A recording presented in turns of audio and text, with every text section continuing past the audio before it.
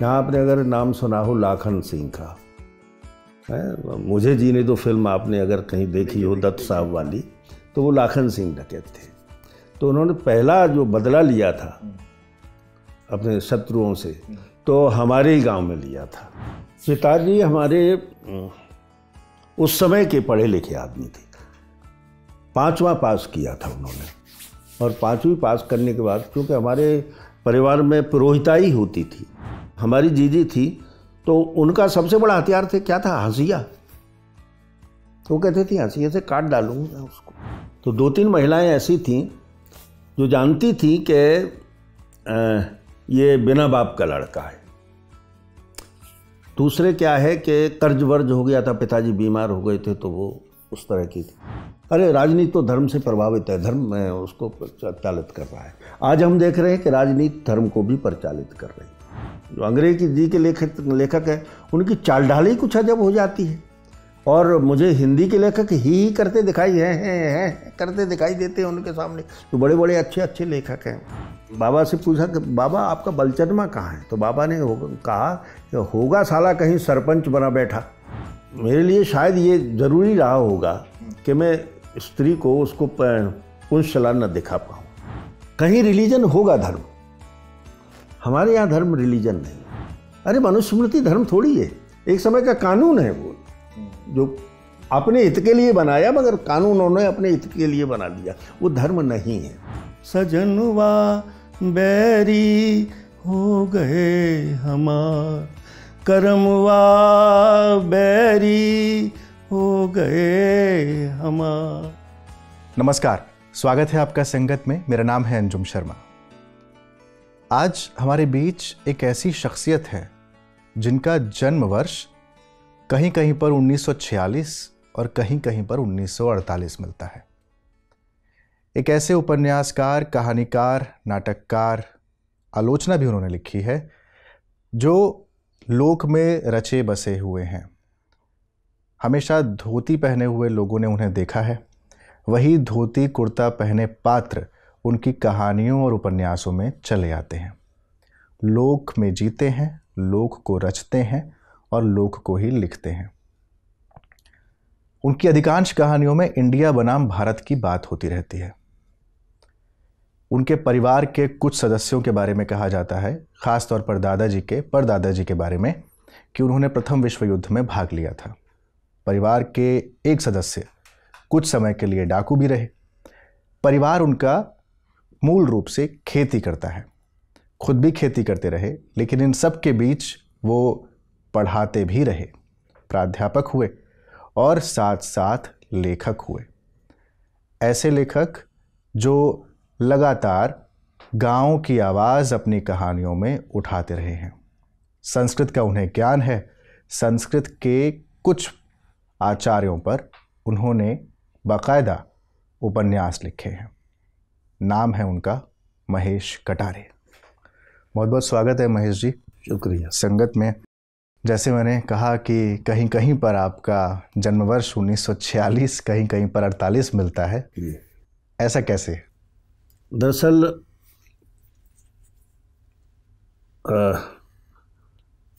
नौकरी की ज़रूरत होती थी गाँव में उस समय पे। हाँ। तो जब कक्षा आठ में हम पहुँचे मिडिल कहते थे उसको। हाँ। तो हमारे शिक्षक थे वाजपेयी जी उन्होंने कहा हमारे पिताजी से कि ये जल्दी पढ़ रहा है हम्म। और जल्दी हाई स्कूल पास कर लेगा हम्म। हाई स्कूल पास करने के बाद नौकरी लग जाती थी तो फिर बोले कि इसकी उम्र सोलह वर्ष होगी हम्म। नौकरी नहीं लगेगी तो ऐसा कीजिए कि मैं इसकी उम्र कम किए देता हूँ पढ़ाई हाँ। तो वो फिर सर्टिफिकेट में वही आ जाएगी और वो आगे चलती रहेगी। हम्म। तो हमारे पिताजी ने हाँ कर दी। हम्म। हाँ कर दी तो उन्होंने छिया उन्नीस सौ छियालीस के बजाय 1948 कर दिया उसमें। अच्छा है छियालीस। छिया वो अड़तालीस है लेकिन छियालीस कर दिया। कर दिया हाँ हाँ हाँ। ये हुआ होगा कि नौकरी जल्दी मिल नौकरी जल्दी मिल जाएगी। जी जी। लेकिन ग्वालियर में ही आपका जन्म हुआ और ग्वालियर के गाँव में? हाँ ग्वालियर के गाँव में जन्म हुआ। दरअसल मेरा जन्म हुआ ननिहाल में। अच्छा। हम लोग वैसे भिंड का एक गाँव है हम्म। पिपरसाना। तो भिंड ज़िले के रहने वाले हैं। हाँ। ननिहाल मेरी ग्वालियर ज़िले में थी। ठीक। तो वहाँ मेरा जन्म हुआ और चूँकि आपने हमारे परिवार में चाचा जी का ज़िक्र किया जो कुछ समय के लिए डाकू बन गए थे। हाँ। ये ये कैसे हुआ? तो ये वो गाँव है जिसके जहाँ मेरा जन्म हुआ था। हम्म। यहाँ आपने अगर नाम सुना हो लाखन सिंह का। हम्म हम्म, हम्म, है, मुझे जीने दो फ़िल्म आपने अगर कहीं देखी हो दत्त साहब हाँ। वाली तो वो लाखन सिंह डकैत थे। तो उन्होंने पहला जो बदला लिया था अपने शत्रुओं से। तो हमारे ही गाँव में लिया था। अच्छा। ग्यारह लोग वहाँ मार जो मारे थे हाँ। वो हमारे ही गाँव में मारे थे। हाँ, तो इस तरह से वो एक सिलसिला था। बड़ा खौफ रहता होगा। खौफ तो था ही उस समय पे लोगों में उनका। हम्म। मगर वो उस तरह से नहीं होते थे डकैत जिस तरह से वो दिखाए जाते हैं। हाँ जैसे हम खेतों में रहते थे हम्म, खेती करते थे और डकैत निकल जाते थे कोई दिक्कत नहीं होती थी किसी को दिक्कत नहीं होती थी। हम्म, आ, मैं अपने चाचा जी की बताऊँ आपको कक्का कहते थे हम उनको। हम्म। रामचरण नाम था उनका। तो गाँव में रामलीला होती थी हमारे यहाँ।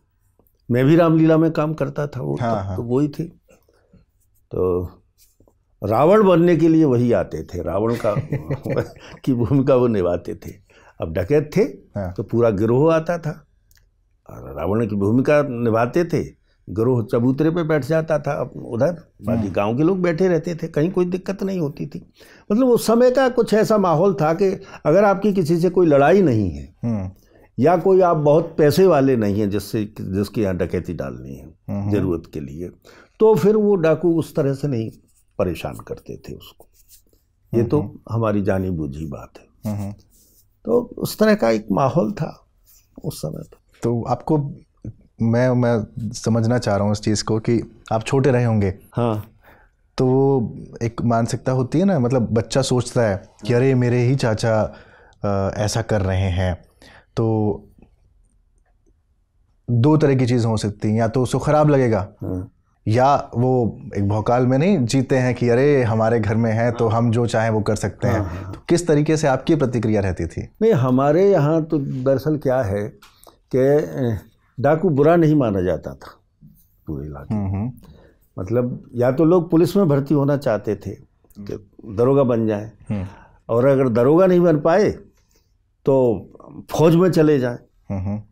और फौज में भी नहीं जा पाए तो फिर ये है कि कुछ रुतबा कायम करने के लिए आप डकैत बन जाइए। तो वो उस तरह से नहीं माना जाता था। हाँ। और उस तरह से बुरे होते भी नहीं थे। मैंने तो देखा है उनको लोगों को हम्म, उन सब लोगों को। जैसा कि मैंने बताया उनको जब ज़रूरत होती थी पैसे की ज़रूरत हो तब डकैती करते थे। या कोई शत्रु हो तो उसको मारने के लिए वो करते थे। लेकिन इसको इसको आप सही भी नहीं कह सकते ना महेश जी। नहीं सही क्या है कि हमारे यहाँ डाकू को डाकू नहीं कहते थे। हम्म, आप पूरे भिंड मुरैना में पूरे अंचल में चले जाएँ। बागी। बागी कहते थे। हाँ। बागी का अर्थ तो जानते हैं विद्रोह करने वाला। हम्म, तो अब ये बागी शब्द हो सकता है कि अंग्रेज़ों के ज़माने से उससे हो कि हम सब कानून नहीं मानेंगे। हम्म, जो अंग्रेज़ों का कानून है उसको हम नहीं मानेंगे। या जो सामाजिक बंधन है कुछ ये है जागीरदार जमींदार हैं उनकी जो बातें हैं उनको नहीं मानेंगे। हम अपने जरा अप, अपनी इयत्ता है हमारा जो स्वाभिमान है हाँ। उसको हम किसी के सामने कम नहीं होने देंगे झुकने नहीं देंगे। उस तरह की कुछ ज़रूरतें होती थी होंगी उन लोगों के सामने तो वो ये करते थे। जैसे कि मैंने आप पढ़ेंगे मेरा जो उपन्यास है आप तो आप कालीधार वो चंबल के ऊपर है।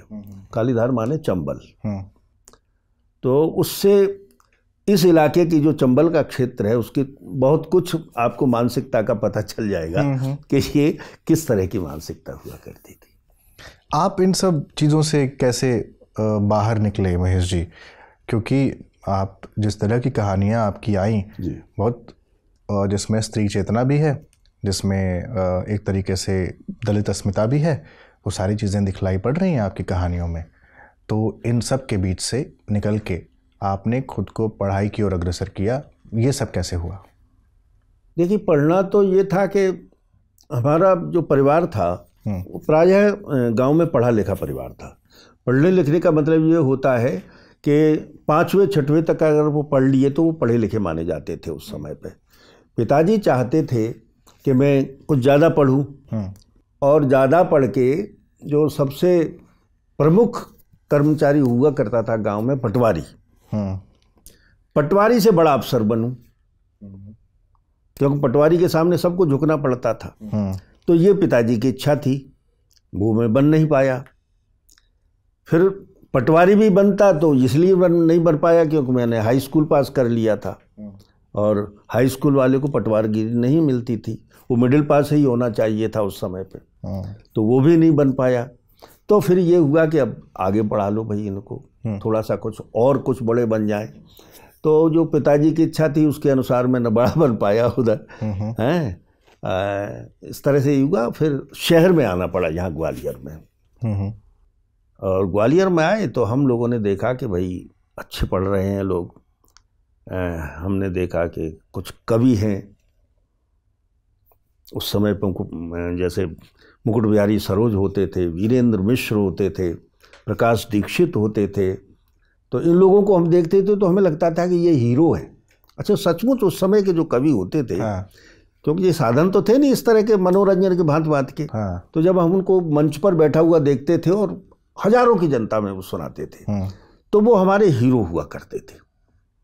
पता लगता था कि अरे कभी क्या हम इस तरह से मंच पर बैठेंगे? क्या इस तरह से हम हो सकते हैं? तो ये एक इच्छा होती थी। क्या बात मतलब ये नहीं हम लोगों की ये इच्छा नहीं होती थी कि हम राजेंद्र कुमार बन जाएँ उस समय पे। हमारी इच्छा होती थी कि क्यों पास के लोग थे वो कि हम मुकुट बिहारी सरोज हो जाएँ या वीरेंद्र मिश्र हो जाए। क्या कभी ऐसा हो सकता था? और जगन्नाथ प्रसाद मिलिंद आपने नाम सुना होगा उस समय के बहुत ज़बरदस्त वो थे। तो मैं आपसे बताऊँ कि जगन्नाथ प्रसाद मिलिंद जब सामने खड़ा होते थे तो हमारे एक उसमें एक पाठ था दसवीं कक्षा में सोक्रेटिस नाम से अंग्रेज़ी की किताब में सुकरात के सुकरात के नाम हाँ। तो जब वो खड़े होते थे और बातचीत करते थे तो हमें लगता था सोक्रेटिस ऐसा ही होता क्या बात है। तो आप ही के राज्य के थे? हम यही के हाँ, थे ग्वालियर के के थे। और इसी मुरार के थे वो। तो इस तरह से ये हमें हीरो लगते थे। तो धीरे धीरे फिर पता टीचर्स ने भी हमें इसके लिए प्रोत्साहित किया कि भाई पढ़ो अगर तुम पढ़ना चाहते हो तो, तो वहाँ से निकलो। तुम लोग भिंड के लोग हो और तुम थोड़े से उजड्ड हो। अच्छा वो उस तरह से होता था एक संस्कार का वो था। तुम लोग उजड्ड हो कुछ पढ़ो लिखो। भिंड वाले बुरा मान जाएँगे? नहीं नहीं भिंड वाले क्या कहाँ बुरा मानेंगे? अब तो बहुत ही बदलाव हो गया। है। वो तो हम सब लोग हैं। तो था एक उनको लगता था कि ये लोग उजड्ड हैं। हम्म, हम लोगों की एक सामान्य बातचीत होती थी उस तरह से। हम्म, तो उन्होंने कहा कि पढ़ो लिखो तो कुछ बन जाओगे। पढ़ने की हुई धीरे धीरे धीरे। ये हुआ कि लिखने का मन हुआ जैसे मैंने बताया कि साहब कविताएँ लिखें। हम्म। और बस होता चला गया। लेकिन इन सब के बीच में एक चीज़ हुई कि आपके पिता का देहांत देहांत। हुआ और ज़िम्मेदारी माँ पर ज़्यादा आ गई और खेती बाड़ी वो करने लगी और आप भी खेती किसानी में लगे। जी।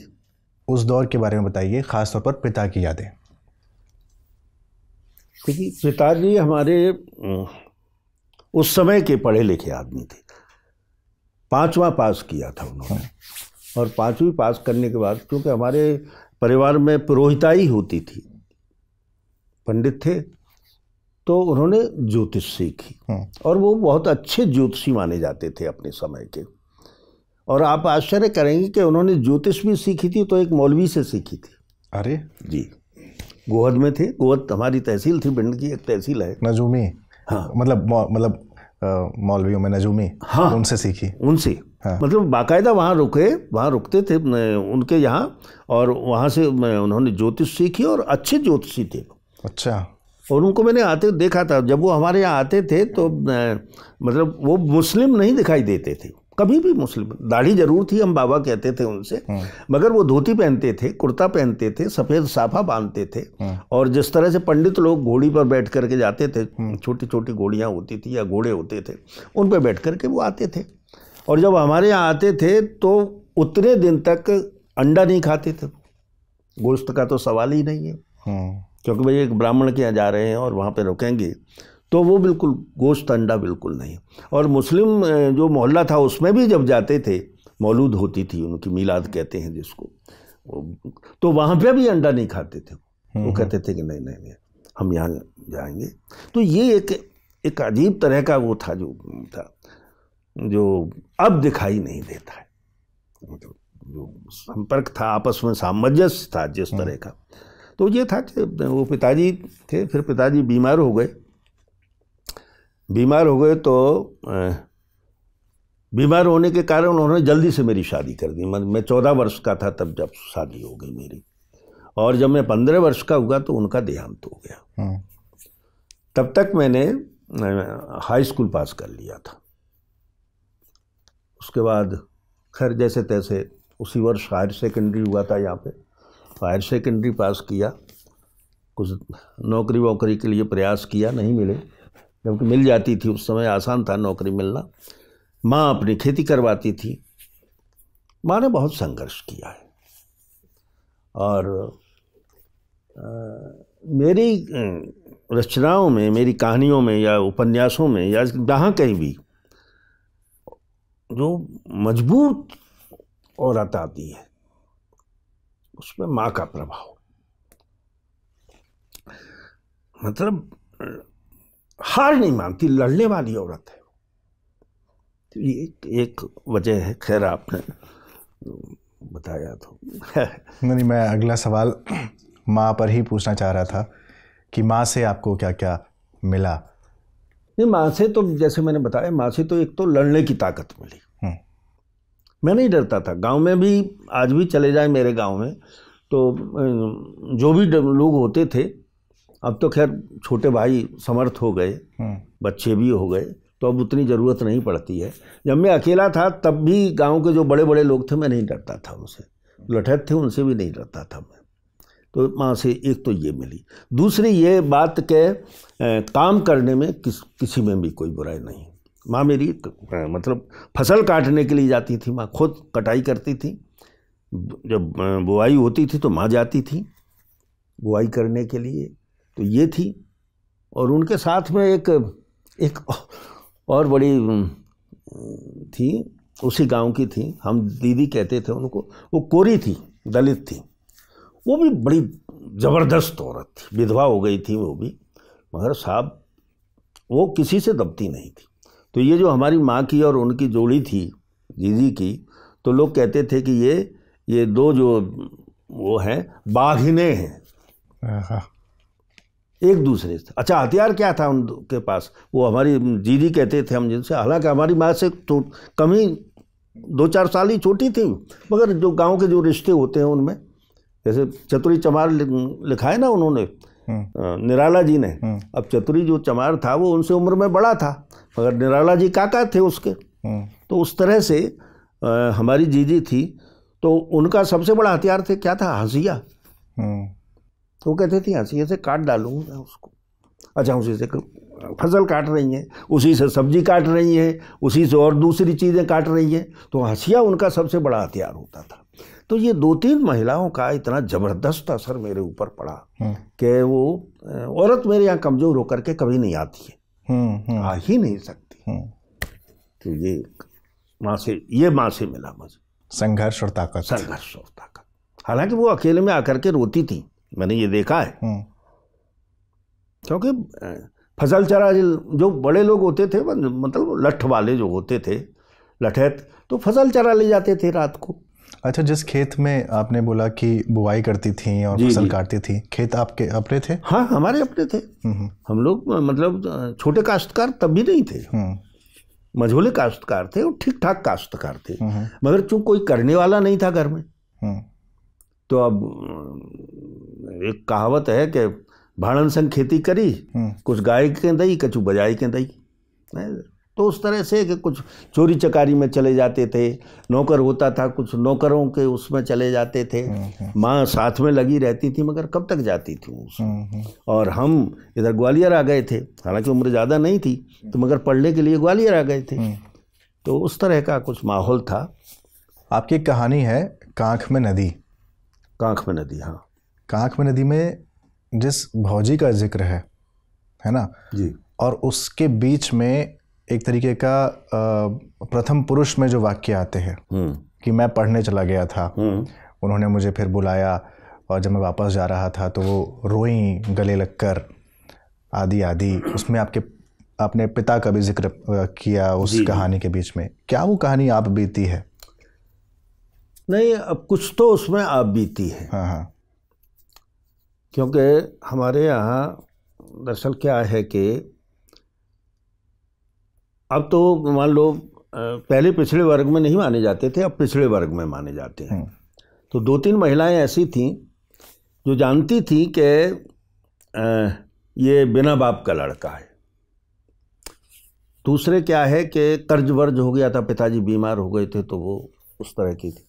तो चाहती भी थी और थोड़ी दया भी रखती थी दोनों ही भाव थे उनके साथ में तो वो चाहती थी कि ये पढ़ता रहे हम्म।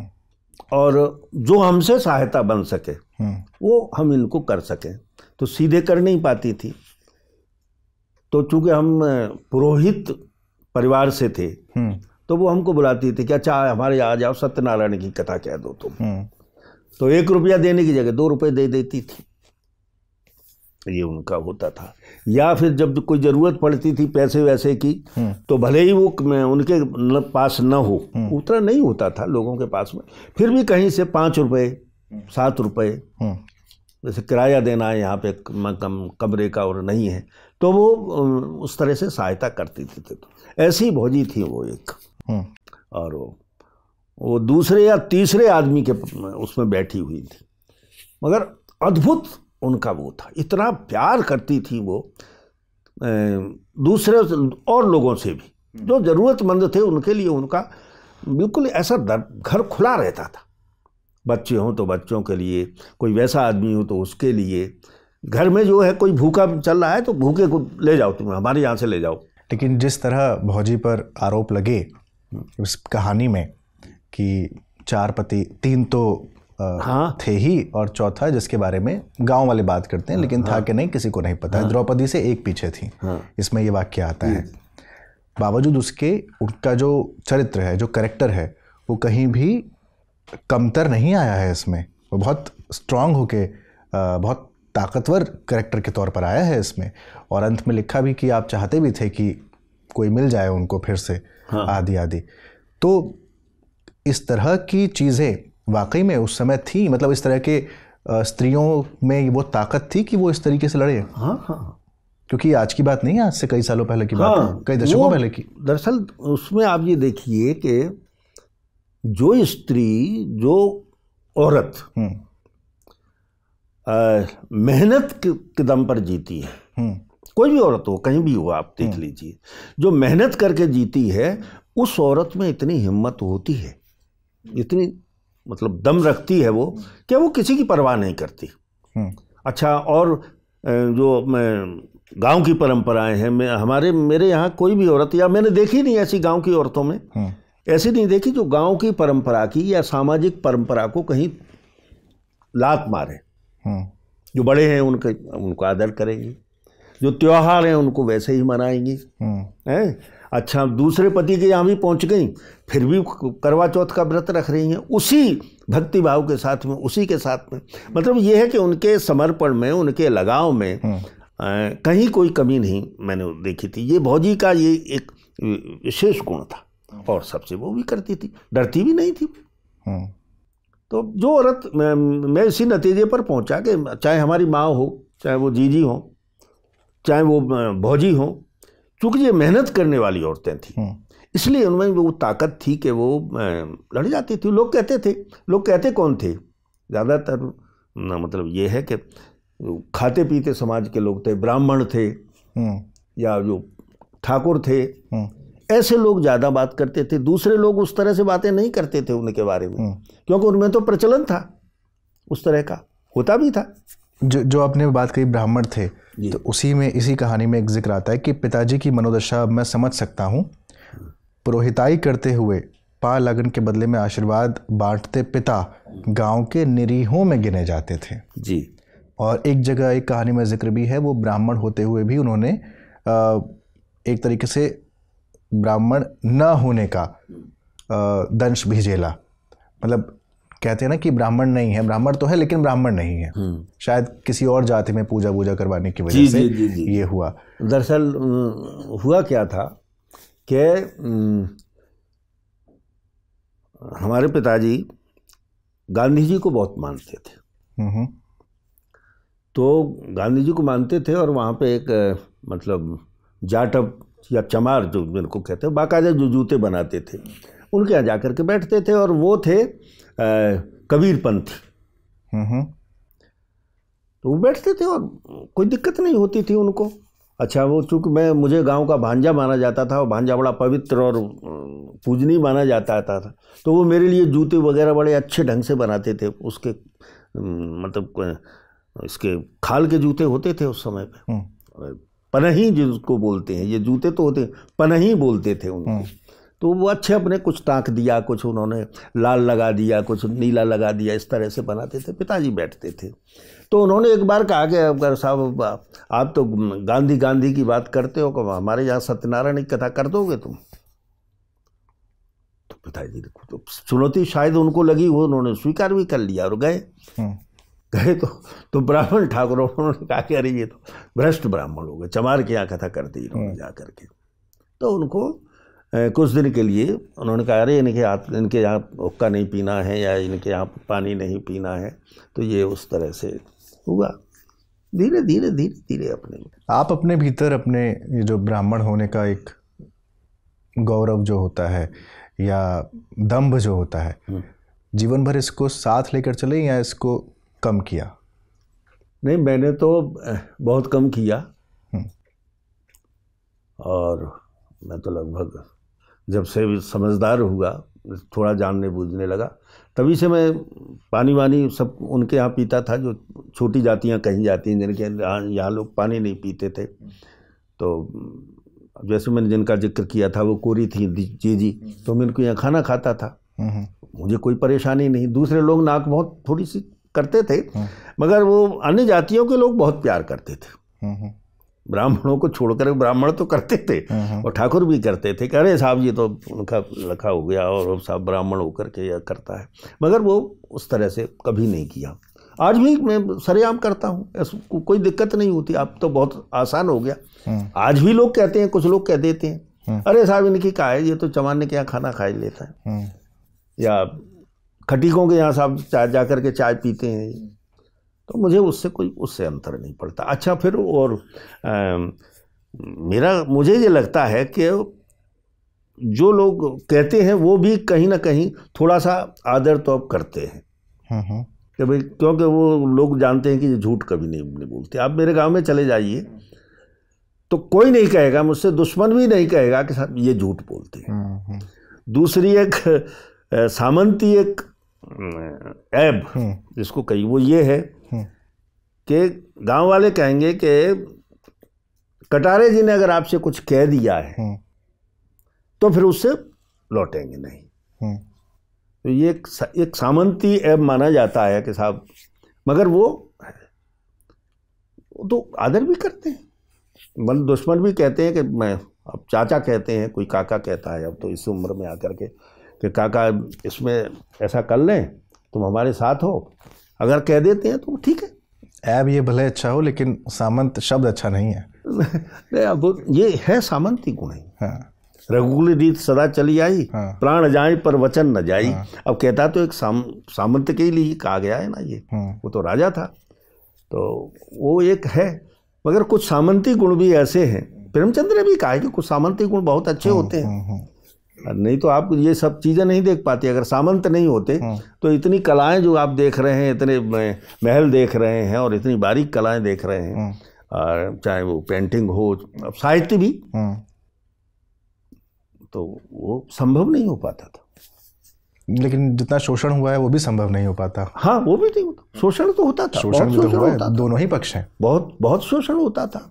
और उस शोषण के तो खिलाफ मतलब रहना ही चाहिए और होता ही है आज ठीक शोषण तो होना ही नहीं चाहिए। आ, आगे बढ़ते हैं। जी। एक और चीज़ इस कहानी में पढ़ते हुए लगी मुझे आ, महेश जी। जी। इसमें एक वाक्य आता है भौजी ने जब पहले पहल इस मौजा में कदम रखा तब दिल्ली पर नेहरू जी के बाद शास्त्री जी का राज था। जी। केवल इस ये वाक्य ही उस समय को परिभाषित कर रहा है। जी। इस वाक्य की ज़रूरत थी क्या यहाँ पर?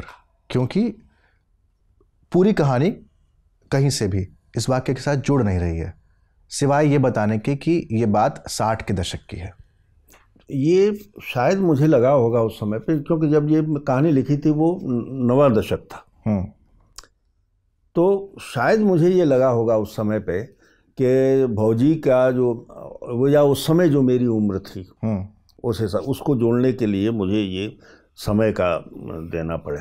हम्म, इशारा करना पड़े कि वो कौन सा समय रहा होगा या क्या उम्र रही होगी। शायद उसकी वजह से होता है। अभी तो इस समय तो मैं नहीं कह सकता कि क्या कारण रहा होगा उसका। हम्म, हम्म। मगर ये यही कह सकता हूँ कि शायद यही कारण उसका रह सकता क्योंकि इन दो राजनेताओं का नाम आता है लेकिन वो कहीं से भी आगे पीछे ये घटना उससे जुड़ती नहीं है। जी। तो एक बार को ये पढ़ने के बाद लगा कि शायद ये कहानी इस वाक्य के बाद हो सकता है किसी राजनीतिक मोड़ की तरफ़ जाए। लेकिन देखा तो नहीं वो वापस परिवार के भीतर आ चुकी थी तो मुझे लगा ये दर्शाने के लिए यही वाक्य की ज़रूरत क्यों पड़ी? हाँ हाँ।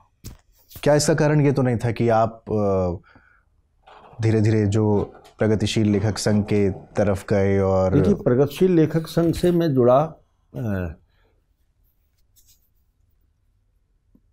उन्नीस में। हम्म। और 1978 में भी इसलिए जुड़ा कि पहले तो कोई वो नहीं थी मैं ग्वालियर में था तो पता चलता था कि साहब कुछ गोष्ठियाँ होती हैं यहाँ पे। हम्म तो कहानी पढ़ने के लिए हम्म बहुत बहुत प्रारंभिक वो था तो कहानी पढ़ने के लिए चला था। हम भी पढ़ेंगे सुनेंगे वहाँ पे। तो प्रगतिशील लेखक संघ से जुड़ा।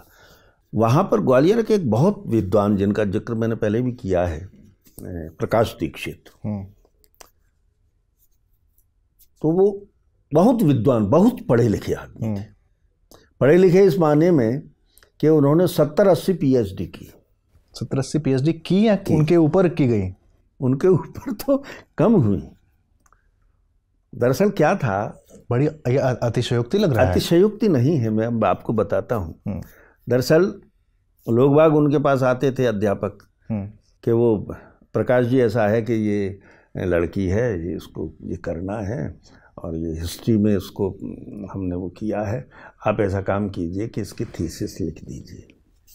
अच्छा उस तरह से। नौकरी करते नहीं थे वो। हम्म।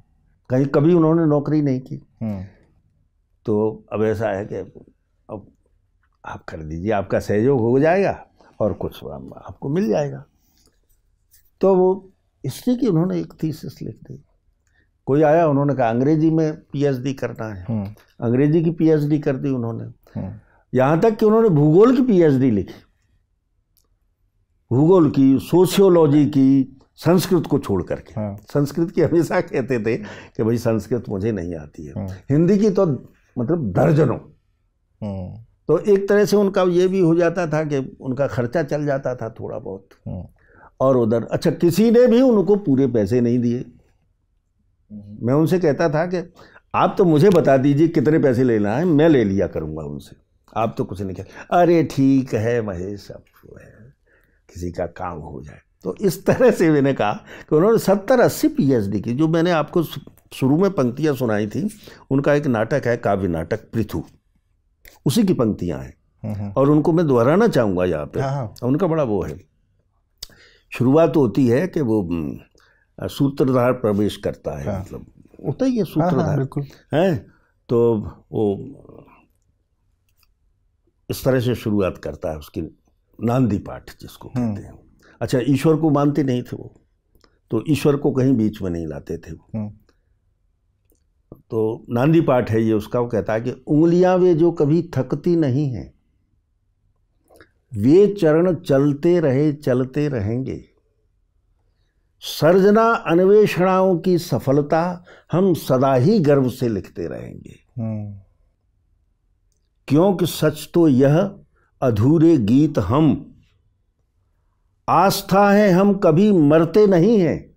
हाँ, उपलब्धियों के पात्र हम निस्सीम हैं। जो युगों से रिक्त है भरते नहीं हैं। क्या बात है पत्थरों पर ज़िंदगी की दूब रोपी। हम सृजन का वेग हैं। आकार हैं हम। शीश ताने ही रहो संभावना हो सब प्रयोगों के लिए आधार हैं हम। आहा आहा। ये ये प्रकाश वाह। तो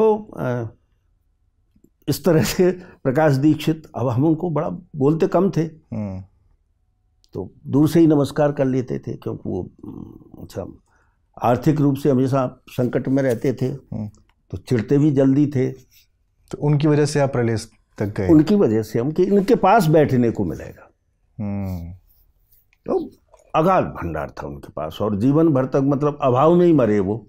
क्या मिला प्रलेस से? प्रलेस से तो ये है कि उनकी बस उनको जीने का वो एक वो मिल जाता था कि आपको क्या मिला?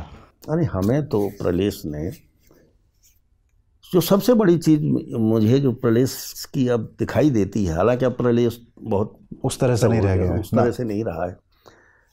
एक तो प्रलेस ने ये दिया कि मैं कभी भी आदमी को कोई भी लेखक हो उसको अपने ऊपर ये नहीं करना चल गर्व नहीं करना चाहिए कि मैंने ये लिख दिया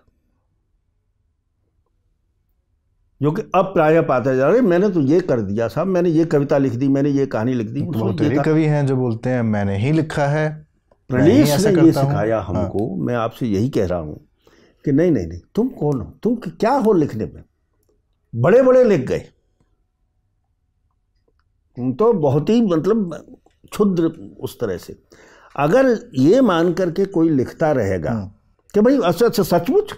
भाई कहाँ कहाँ लिख पाए? आज आज कोई मुझसे कहे मैं सल्यूट के साथ में कह सकता हूँ उनको लाखों सल्यूट करते हुए कि मुझे प्रेमचंद की कहानियों में मैं नुक्स निकाल सकता हूँ।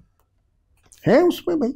अब इसका मतलब ये कि प्रेमचंद महान थे मगर उनसे बेहतर भी तो लिखना चाहिए, कोशिश तो करना चाहिए ना। और बहुत पहले हो चुके हैं तो ना हम प्रेमचंद बन सकते हैं, ना हम निराला बन सकते हैं। बन सकते हैं तो ये है कि कुछ अलग करके, उनकी ही रास्ते पर चलते हुए कुछ अलग कर सकें और कुछ बेहतर कर सकें, उसको आप कीजिए। तो प्रलिस ने एक तो ये दिया मुझको कि कभी भी आप इस पर कोई गर्व मत कीजिए कि हमने साहब ये दूसरे प्रदेश ने जो बताया जो आज बिल्कुल ख़त्म है। कि महत्वाकांक्षी मत बनो जाना।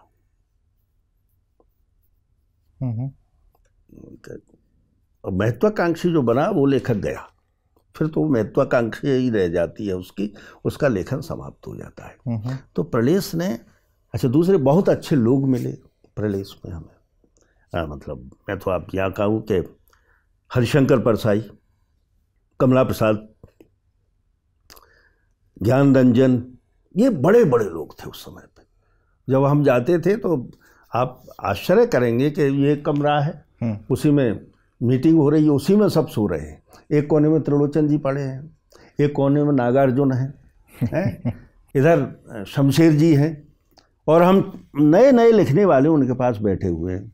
रात को दो दो बज रहे हैं और वहाँ से रहे हैं। त्रिलोचन जी तो बहुत ठाके लगाते थे त्रिलोचन जी और बाबा तो एकदम से ऐसे कि आप क्या कहें?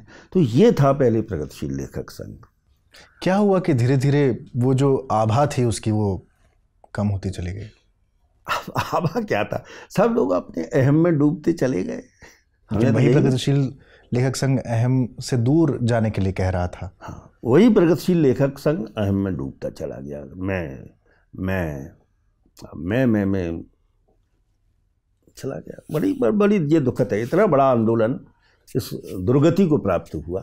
अच्छा आपको लगता है महेश जी कि संगठनों ने अपनी भूमिका साहित्य को आगे बढ़ाने में उस तरह से निभाई जिस तरह से निभाई जानी चाहिए थी या वो केवल उस राजनीति को आगे बढ़ाने लगा जो जिस विचारधारा पर वो चल रहा था? ये आपका बहुत महत्वपूर्ण प्रश्न है और इस पर हम तब नहीं सोच पाते थे हम। हम्म, तब तो हम चूँकि नए नए प्रगतिशील बने थे तो प्याज बहुत ज़्यादा खाते थे।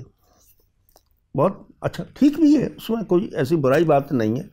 मगर आज जब हम उसको देखते हैं तो ये लग, लगता है कि उनको भी बहुत सल्यूट करते हो तो जैसे निश्चय ही मुक्तिबोध का नाम आएगा। हम्म, तो उन्होंने उनका प्रसिद्ध वाक्य है कि पार्टनर आपकी पॉलिटिक्स क्या है? हमको प्रगतिशील लेखक संघ में ये बताया जाता था कि पर्सनल इज़ टू छिपा होता था। बीच में पर्सनल इज़ पॉलिटिकल। मतलब सारी की सारी चीज़ें हैं जो पॉलिटिक्स के भीतर आती हैं। तो अब ये साहित्य है वो भी पॉलिटिक्स पॉलिटिक्स के भीतर है। जो भी हम लिख रहे हैं वो पॉलिटिक्स के भीतर है।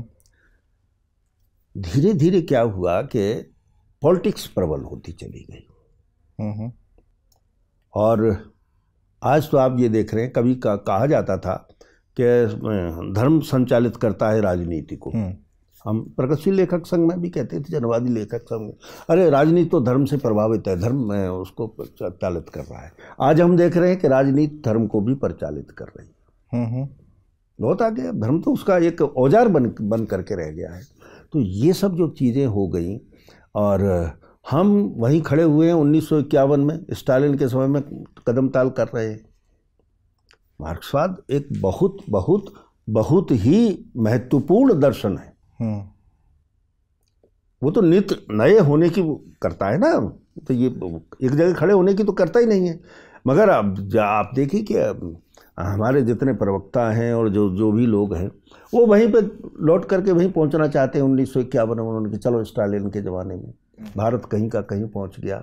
सारी दुनिया कहीं की कहीं पहुँच गई। मगर वो कर रहे हैं तो वो तो अब सामने आ रहा है। रचनाएँ राजनीतिक आग्रहों से लिखी जानी चाहिए? नहीं रच, रचना रचना का राजनीति के आग्रह अगर कोई राजनीति जो सामाजिक संदर्भ में उस समय पे समाज सापेक्ष है हम्म। वो तो ठीक है हम्म। उतना तो होना चाहिए और जो समाज से बिल्कुल कट जाती है या समाज से बिल्कुल अलग है समाज के क्षति पहुँचाने वाली है तो वो राजनीति तो नहीं होनी चाहिए उतनी हम्म। ज़्यादा और फिर सबसे बड़ी बात तो ये है कि राजनीति मनुष्य के लिए है हम्म। मनुष्य राजनीति के लिए थोड़े ही है तब तो फिर एक सवाल ये भी उठता है महेश जी की क्या साहित्य बिना राजनीतिक या राजनीतिक गलत शब्द है यहाँ पर कि क्या साहित्य बिना विचारधारा के संभव है? बहुत सही देखिए विचारधारा एक दृष्टि देती है। हम्म। ठीक है? और आगे बढ़ने के लिए हमारे एक नज़र ज़रूरी है। हम्म। नज़र ज़रूरी है साहित्य में नज़रिया ज़रूरी है। हम्म। मगर दृष्टि के साथ में एक एक चीज़ और जुड़ी हुई है कि अगर हम बहुत खुले हैं खुले में तो दृष्टि दूर तक देख सकती है। कमरे में बैठे हैं तो हमारे सामने ये व्यवधान आ गया। हम्म। दीवार के पार नहीं देख सकते। ये दृष्टि की सीमा है। हम्म। और बहुत खुले में भी दृष्टि की सीमा ये है कि आप क्षितिज के उस ओर नहीं जा सकते। हम्म। क्षितिज तक ही देख सकते हैं बहुत खुले होने पर भी पूरा खुला होने पर भी। मगर संसार तो क्षितिज के पार भी है। तो उसको देखने के लिए कुछ चाहिए ना अपने को। अब साहित्य तो आपको क्षितिज के पार तक ले जाता है। तो एक एक खास दृष्टि में बंद करके खास जितनी हमारी क्षमता है या विचार की जो क्षमता है उसमें बंद करके हम फिर उसके पार नहीं जा पाते हैं। वहीं तक रह जाते बहुत खुले में देखेंगे तो क्षितिज पर पहुँच गए हम। हम्म, हम्म। बस। इसलिए दृष्टि का जो विस्तार होता है उस वो वो साहित्य का विस्तार होता है। हम्म, दृष्टि से आगे जाने का। इसी सवाल को मैं आप ही की कहानियों में रखकर पूछता हूँ कि आपकी दृष्टि में लोक जो इतना महत्वपूर्ण है जी। आपकी दृष्टि उस लोक से परे क्यों नहीं जा पाती है? हाँ आपका ये देखिए एक तो लोक लोक को मैं फोक में नहीं लेता। फोक के माने में नहीं लेता हूँ लोग क्या अंतर है? मैं आपको बताता हूँ। हम्म। और इसलिए भी ज़रूरी है क्योंकि फोक का अनुवाद हम लोक तो करते हैं लेकिन जैसे ही हम पब्लिक स्फीयर बोलते हैं तो उसका भी अनुवाद हम लोक करते हैं लोक वृत्त जी जी जी जी जी वही है हाँ। कालिदास का की एक पंक्ति है हम्म। अभिज्ञान शाकुंतलम में हम्म। कि स्वसुख निर्भिलाष खिद्य से लोक हेते। लोक हेतु। ये उस समय के शासक के लिए है दुष्यंत के लिए है कि अपना सुख छोड़ करके निरभिलाष अपने सुख की इच्छा भी नहीं करना चाहिए। जो नेतृत्व है नेता है या शासक है निर्भिलाष होकर के इच्छा भी न करते हुए खिद्य से लोक हेतु। स्वसुख निर्भिलाष खिद्य से लोक हित। लोक के हित के लिए उसको कष्ट उठाना चाहिए। अब इस लोक में सिर्फ़ जंगल तो है नहीं। उस उस लोक में तो नगर भी है ना। भाई राजा जिस नगर में रहता है या जिस राजधानी में रहता है तो ये एक विस्तार है पूरा का पूरा। लोक का कि लोग सिर्फ़ जो है जिसे हम फोक कहते हैं या जंगली जिसको अपन कह देते हैं वो नहीं है। हमारे यहाँ बाकी कहीं होता होगा उतना मुझे नहीं जान मैं नहीं जानता कि ये अलग अलग सीमाएँ होंगी। साहब कि ये फोक है और ये है। हमारे यहाँ लोक का मतलब ये है कि पूरा का जन। जो जन है उससे लोक है। जो वो भी वो सब जन वो पूरा जन जो प्रकृति के नज़दीक है। वो लोक है। वो लोक है। तो अब मेरी सीमा ये है कि लेकिन भाषा के संदर्भ में तो ऐसा नहीं होगा?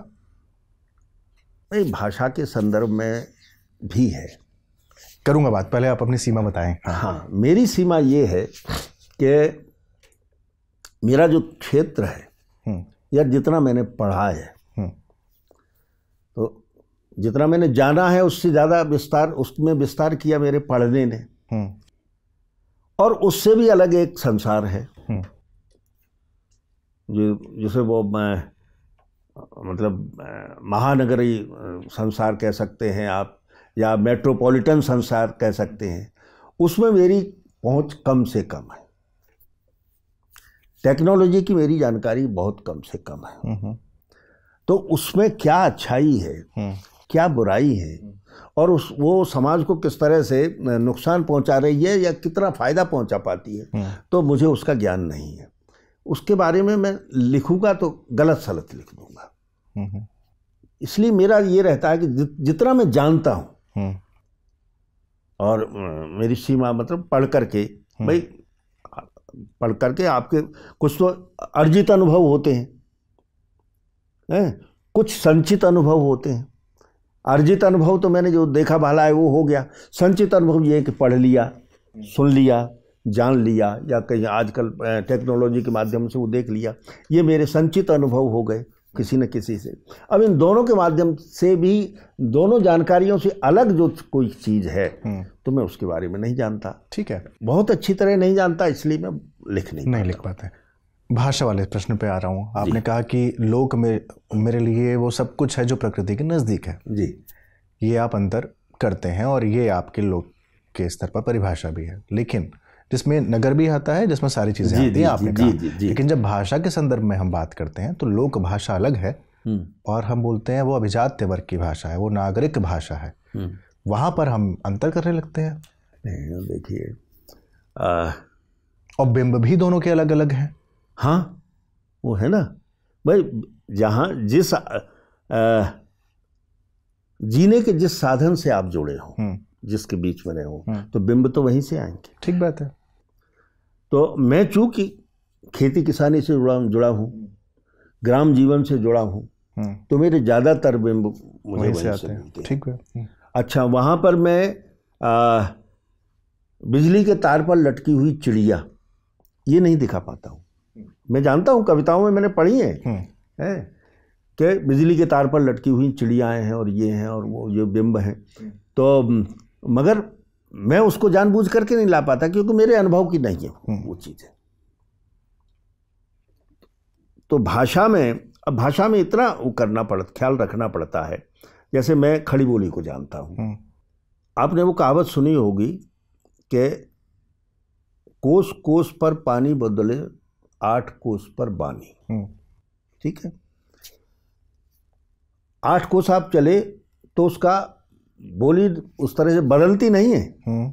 मगर उसका लहजा बदलता बदल जाता है बिल्कुल। और इसीलिए राहुल सांकृत्याय ने कहा कि अगर आप पैदल यात्रा करना शुरू करें हम्म। तो आपको कहीं भी किसी भाषा की कोई समस्या नहीं आएगी। हम्म। अभी मैं जब पटना वगैरह जाता हूँ तो वो भोजपुरी बोलते हैं। जल्दी जल्दी बोलते हैं तो मेरी समझ में नहीं आता कि ये क्या कर दी कह दिया। एक बार मैं गया तो मैंने रिक्शे वाले से कहा कर, करमिंदी शिशिर के यहाँ में जा रहा था। अच्छा हाँ, हाँ। तो पहली बार गया था करमिंद शिशिर का वो रहते थे शास्त्री नगर में पहले कहीं रहते थे हाँ। शास्त्री नगर जगह तो मैंने कहा कि भाई मुझे शास्त्री नगर जाना है हाँ। आप ले चलिए तो कितने पैसे लोगे तो उसने कहा सौ रुपये तो उसने अब मुझे लगा कि सौ रुपये हाँ, हाँ। तो मैंने कहा सौ रुपये हाँ। तो उसने दो तीन बार कहा सौ रुपये हाँ। तब मेरी समझ में आया कि ये छः रुपये की कह रहा है हाँ। है? तो अगर यात्रा करते हुए चले जाते हाँ। तो मुझे कोई दिक्कत नहीं होती। उस वहाँ से आगे बढ़ जाते उड़िया उड़ीसा में पहुँच जाते बीच की भाषाएँ हो जाती। यहाँ पे मैं क्या नाम है कौन सा गाँव है महाराष्ट्र और उसके बीच में जिस पर डिस्प्यूट चल रहा है कर्नाटक के बीच में बड़ा स्टेशन है। वहाँ पे लोग दोनों दोनों बोलियाँ बोलते हैं। कर्नाटक कर्नाटक कन्नड़ भी जानते हैं हम्म। और मराठी भी जानते हैं। खूब अच्छी तरह से दोनों बोलते हैं। तो इस तरह से भाषा का ये है कि ठीक है।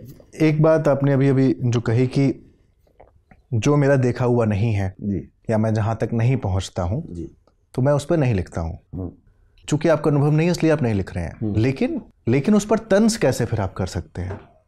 मिसाल के तौर पर जब आप भारत बनाम इंडिया की बात कर रहे होते हैं हम्म, हम्म, हम्म। या फिर जब आप पराजित गंधर्व जैसी कहानियाँ लिख रहे हैं या फिर आप आपकी एक और कहानी है जिसमें आप लिखते हैं मुर्दा स्थगित की बात कर लूँ है ना? जिसमें वो पालकी में आएँगे वगैरह वगैरह है ना? शाही सवारी आएगी। हाँ, हाँ। वो भी एक तरीके से वही है भारत बनाम इंडिया वाली बात है हाँ, उसमें भी। वो आपका देखा हुआ नहीं है लेकिन आप उस पर तंज कर रहे हैं अनुभव के आपके बाहर है। आप गलत मान रहे हैं कि वो बहुत पैसे वाला है तो वो ऐसा ही होगा। वो बहुत ऐसा है तो इंडिया जो है वो गलत ही होगा तब नहीं ये नहीं है कि इंडिया गलत होगा हम्म। मेरा इंडिया के विषय में ये है आ, मतलब लगभग 2005 से हम्म। मैंने सबसे पहले प्रयोग किया इसलिए मुझे पता है कि उस उसमें नावर जी भी बैठे हुए थे मंच पर हम्म। जब मैंने इसका प्रयोग किया था। कि ये उसमें मैंने ये कहा था कि भारत इंडिया के यहाँ झाड़ू पोछा करता है हम्म। उसका काम मतलब इंडिया के यहाँ पे यही रह गया है तो नामवर जी से फिर बाद में उस तरह से थोड़ी सी बातचीत हुई नामवर जी के अपने वो थे खैर वो तो मतलब नामवर जी तो अद्भुत विद्वान आदमी थे हम्म। तो मेरा ये हमेशा से ये रहा है कि जो इंडिया वाले लोग हम्म। वो एक तो भारत को बहुत कमतर और या निम्नतर मान करके देखते हैं। हम्म। आप भाषा के स्तर पे भी चले जाए। हम्म। भाषा में भी आपको ये लगेगा कि आप जो अंग्रेज़ी के लेखक हैं मैंने तो यहाँ पे विश्व पुस्तक मेले में देखा है, जो अंग्रेज़ी जी के लेखक लेखक हैं उनकी चाल ढाली कुछ अजब हो जाती है। और मुझे हिंदी के लेखक ही ही करते दिखाई है, हैं है करते दिखाई देते हैं उनके सामने। तो बड़े बड़े अच्छे अच्छे लेखक हैं। तो उसमें कमी अंग्रेज़ी वालों की कहा ना अंग्रेज़ी वालों की नहीं है। हम्म। मगर अगर वो उनकी जो ऐठ है हम्म। वो तो है ना उनमें अंग्रेज़ी वालों में। उनका व्यवहार हो चुका है या वो उनका तरीका ही है रहने का? तो गलत कैसे कह सकते हैं नहीं गलत मैं भारत के लिए गलत है। मतलब मुझे अगर कोई ऐठ दिखाता है मैं ब्राह्मण होकर के हम्म। अगर किसी दलित के लिए ऐठ दिखाता हूँ हम्म। तो दलित के लिए तो गलत है ना? हम्म, मेरे मेरे लिए भले शायद स्वाभाविक हो कि साहब मैं तो ब्राह्मण हूँ। मगर उसके दलित के लिए बहुत गलत है। और दलित उसको सहन नहीं करेगा। अच्छा भारत भी अब सहन नहीं कर रहा। और आप देख रहे होंगे कि अब तो सरकारें कहने लगी भारत बनाम दन इंडिया। ये तो अब तो, तो राजनीतिक दल तो, की बात कहने लगे ना। हाँ मैंने मैंने तो 2005 की मैंने आपको बताया मुझे अच्छी तरह याद है क्योंकि मैं मुझे एक वो सम्मान मिला था शमशेर सम्मान। हम्म। उस समय पे नामवर जी बैठे हुए थे वहाँ पे दिल्ली में। हम्म। तब मुझे लगा था। तब तब लोग कहते थे अरे साहब किसान आत्महत्या नहीं कर रहे किसानों के पास तो बहुत पैसा है। हम्म। वहाँ के दिल्ली के लोग कहते थे अरे भाई किसान हो तुम तो तुम तो। अब हमें पता है कि भाई किसानी में क्या परेशानी होती है। दो साल में एक साल फ़सल अच्छी हो गई एक साल बिल्कुल डूब गई। और वो कह रहे अरे साहब किसान आत्महत्या नहीं कर रहे थे। जब जबकि उसी समय पर मुझे याद आ रहा है हम्म। उसी समय पे अखबार में निकला था कि महाराष्ट्र में दस हज़ार से ज़्यादा किसानों ने आत्महत्या की थी। 2005 हम्म। में। फिर तो आंकड़ा वो बढ़ता ही चला गया। हम्म। और दिल्ली के बैठे के लोग कह रहे हैं कि हमारे यहाँ ओले पड़ गए थे पूरी फ़सल नष्ट हो गई थी। आपका नाटक है गाँव का था? हाँ गाँव का था नाटक हाँ, है। उसमें किसान समस्या है वह कहता तो अब ये ये जो चीज़ें हैं वो कहीं ना कहीं तो भाई एक मनुष्य होने के नाते मैं कोई देवता तो हूँ नहीं। एक आक्रोश तो पैदा करते ही है। हम्म। महेश जी अभी मैंने गाँव गाथा का ज़िक्र किया। नाटक है आपका। जी। गाँव गाथा सवाल पहला मेरा रचना प्रक्रिया को लेकर ही है। कि कहानी लिखते हुए जी। जो प्रक्रिया होती है नाटक लिखते हुए ज़ाहिर सी बातें वैसी प्रक्रिया नहीं, नहीं होती होगी। और एक घटना जो आपको उद्वलित कर रही होगी ये कैसे तय करते हैं कि वो कहानी का रूप लेगी और वो नाटक का रूप लेगी? ये ये सचमुच एक लेखक के लिए तो बड़ा कठिन प्रश्न है। हम्म। ये तय करते हुए कि कोई घटना आ, उसको कहते हैं कि जो आपको बहुत बहुत गहरे से उद्वेलित करती है हम्म। उसको एक तो रचना में बदलना क्योंकि उद्वेलित उद्वेलित हो जाना तो एक अलग चीज़ है हम्म। फिर उसका एक रचना में बदलना एक अलग चीज़ हो जाती है हम्म। और फिर उसका किस विधा में जाएगी? हम्म। ये तीसरा प्रश्न है। कई बार ऐसा होता है कि मैं अपनी बात बताऊँ मैं कहानी लिखने बैठता हूँ। और कहानी नहीं बन पाती। मैं तो मूलतः कहानीकार हूँ। कहानी उपन्यास लिखता हूँ। मुझे लगता है कि ये कहानी नहीं बन रही है। और जब बहुत हो जाता है तो फिर दूसरी विधा कोई सामने आ जाती है हम्म। कि इसमें इस तरह से हो सकती है मैं एक उदाहरण दूँ आपको हम्म। मैं उन्हें तिब्बतियों के ऊपर कहानी लिखना चाहता था हम्म। जगह जगह आप हैं ही अपने यहाँ इन दिनों में तो जगह जगह पहुँच ही जाते हैं तो मैं कहानी लिखना चाहता था उनके उसमें मैं उनके बीच में गया उठा बैठा ये जो मेरी एक तरीका है कि मैं लोगों से बातचीत की। और मैं कहानी लिखने बैठा तो पंद्रह दिन तक मैं कहानी नहीं लिख पाया। एक दो प्रश्न लिखूं और फाड़ दूँ। धीरे धीरे न जाने क्या हुआ मुझे लगा कि कविता लिखूं। क्योंकि मैं कविता नहीं लिखता हूँ। तो आप आश्चर्य करेंगे कि मैंने उस पर कविता लिखी। वाह। एक तिब्बती माँ की लोरी। और जो मैं कहना चाहता था वो कविता में आ गई और कहानी में लिख नहीं पाया। हम्म, हम्म। तो कभी कभी क्या होता है कि कोई भी विषय वस्तु अपना माध्यम भी ढूंढ लेती है कि मुझे किस किस विधा में जाना है। यहीं पर यहीं पर रोक रहा हूँ आपको क्योंकि इसी से जुड़ा हुआ मेरा अगला सवाल है आपकी कविता मतलब आपकी पुस्तक रचना और समाज से। जी। पाठ है रचना और समाज जिसमें आप लिखते हैं कि रचना का आरंभ ऐसे अनुभव से होता है जो भूला हुआ है तथा उसका अंत लेखक की प्रत्याशा में है। जी। वर्तमान तो नहीं भूला हुआ होता है। हम्म। लेकिन वर्तमान की कोई घटना आपने तुरंत देखी और तुरंत आपको कहानी आ जाती है। आप कहानी लिख डालते हैं। तो ये क्या सदैव ऐसा ही होता है कि जो भूला हुआ है रचना उसी से संभव होती है? नहीं भूल रचना से मैं भूले हुए याद आने लगते हैं कुछ हम्म, चीज़ें। हम्म। और वो आपसे आप जुड़ जुड़ते हुए उससे चले जाते हैं। हम्म, अच्छा प्रत्याशा तो हमारा ये है कि हम कैसा संसार देखना चाहते हैं। कैसी दुनिया देखना चाहते हैं। कोई बात विचारधारा की आगे एक तो विचारधारा में ढली हुई दुनिया है कि साहब ऐसी दुनिया होनी चाहिए हमारी और वो एक मॉडल है हमारे सामने। या एक ऐसी दुनिया है कि जिसको हम चाहते हैं कि नहीं नहीं ये ख़राब है मगर इससे बेहतर इस तरह से भी हो सकती है। विचारधारा भी उसमें शामिल हो सकती है विचारधारा से थोड़े हट कर भी हो सकती है। तो ये प्रत्याशा। कभी कभी क्या सायास भी होता है कि किसी घटना को आप विचार तक लेकर जाते हैं? जी। बहुत सी कहानियाँ मैं नाम नहीं लूँगा। हाँ। बहुत सी कहानियाँ हम पढ़े थे। अब भी अब तो नहीं होते हैं। वो वो लेखक हमारे मित्र हैं जो आज भी लिख रहे हैं तो पहले कि हर कहानी के अंत में क्रांति हो जाती ले लीजिए नाम ले लीजिए। नहीं अब वो हाँ, हाँ, वो भी खुद बदल गए हैं। अच्छा स्वाभाविक अच्छा, है हाँ, बदलते हैं। हर कहानी के अंत में क्रांति हो जाती थी सब नायक कर देता था। हम्म। अब आपको एक बड़ा नाम बता दूँ मैं। हम्म। बाबा का नागार्जुन का। बलचन्मा था। हम्म। तो वो डीएम का कॉलर पकड़ लेता है। एक साधारण किसान।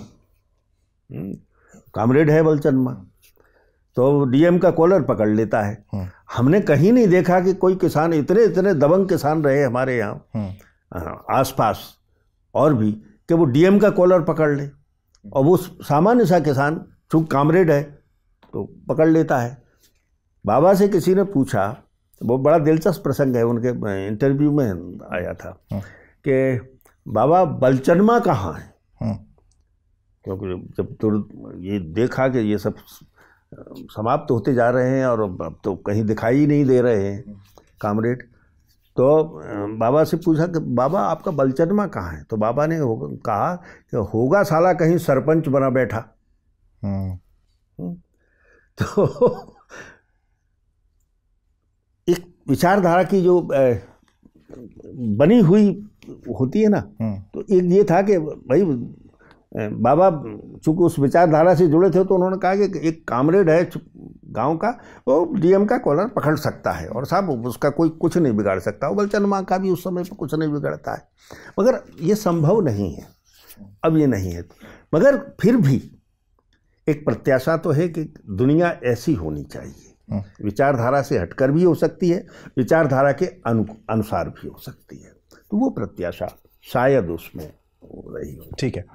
उपन्यासों की तरफ़ आ रहा हूँ। कामिनी काय कांतारे पहली बात तो यही जो कामिनी काय कांतारे का क्या ज़रूरत पड़ गई कि बाद में आपको संशोधित संस्करण लाना पड़ा भद्रिहरि काया के वन में के नाम से। देखिए ये लेखक और प्रकाशक के बीच के कुछ द्वंद्व होते हैं। हम्म। तो एक तो कारण ये रहा लेखक और प्रकाशक का जो द्वंद्व था। हम्म। कि शायद प्रकाशक की प्रत्याशा ये थी कि ये कुछ कुछ नहीं मांगेंगे। हम्म। मेरे पास कोई नौकरी वोकरी थी नहीं। हम्म। तो मैंने पहले ही कह दिया था भैया यार कम से कम रॉयल्टी वॉयल्टी तो तुम ठीक ठाक ढंग से दे दिया करो। हम्म। तो वो नहीं। फिर कुछ और हम लोगों के बीच के आपस की शिकायतें थी। तो उस बीच में मुझे अशोक माहेश्वरी एक कार्यक्रम में मिल गए। तो अशोक माहेश्वरी ने शिकायत की। लीलाधर मंडलोई जी भी थे उस साथ में और अशोक माहेश्वरी जी ने शिकायत की कि वो अब आपने एक उपन्यास उनको दे दिया। हाँ आपने हमको नहीं दिया। जबकि हमारी उनके तब से परिचय है जब वो राधा कृष्ण प्रकाशन हुआ करता हम्म, था। आपकी तो। कम उम्र है। राधा कृष्ण प्रकाशन दोनों भाइयों के पास हुआ करता था और ये प्रगतिशील लेखक संघ के कार्यक्रमों में जाते थे और वहाँ पे स्टॉल लगाते थे राधा कृष्ण प्रकाशन से। और हम लोगों के पास अगर पैसे भी नहीं होते थे तो ये इनका था कि उधार आपको जो किताब चाहिए बाद में भेज देना। ठीक। तब से संबंध थे। उन्होंने कहा आपने हमको नहीं दिया। हमने उनसे कहा कि देखिए आप इतने बड़े प्रकाशक हैं। मैं इतना छोटा लेखक हूँ कि मैं आपकी तरफ़ जो देखूँ आप इतने ऊँचे पे बैठे हैं तो मेरी टोपी गिर जाएगी। हम्म। तो मैं आपके साम आपसे नहीं कह सकता कि मेरा आप उपन्यास छापिए। आपने मांगा नहीं मैंने दिया नहीं। बहरहाल तो बोले कि अगला हमें दीजिए मैं हम हम देंगे। उसके बाद कुछ ये हुआ तो हमने कहा कि आपने कहा था यार कि उपन्यास हम हमें दे दीजिए आप छाप सकते हैं उसको। तो उन्होंने कहा कि छाप देंगे। हम्म। ये मुझे थोड़ा सा सुनने में अजीब सा लगा क्या लेखक को इस तरीके से प्रकाशक के सामने रहना चाहिए कि आप इतने बड़े प्रकाशक है कि आपकी तरफ़ मैं देखूँ तो मेरी टोपी गिर जाए। वो मेरा थोड़ा सा व्यंग भी था उसमें। अच्छा वो आप ध्यान होगा मेरे दिमाग में शायद वो भी रहा हो। निर्मल जी जैसा बड़ा लेखक। वो भी तो यही प्रकाशन था ना। वापस आ गए। अब अब आ गए वो हमने अभी सुना था अभी दो तीन दिन पहले ही तो पहले सुना है हाँ। कि वो वापस आ गए जी अच्छा हुआ हाँ। मगर निर्मल जी जैसे बड़े बड़े लेखक को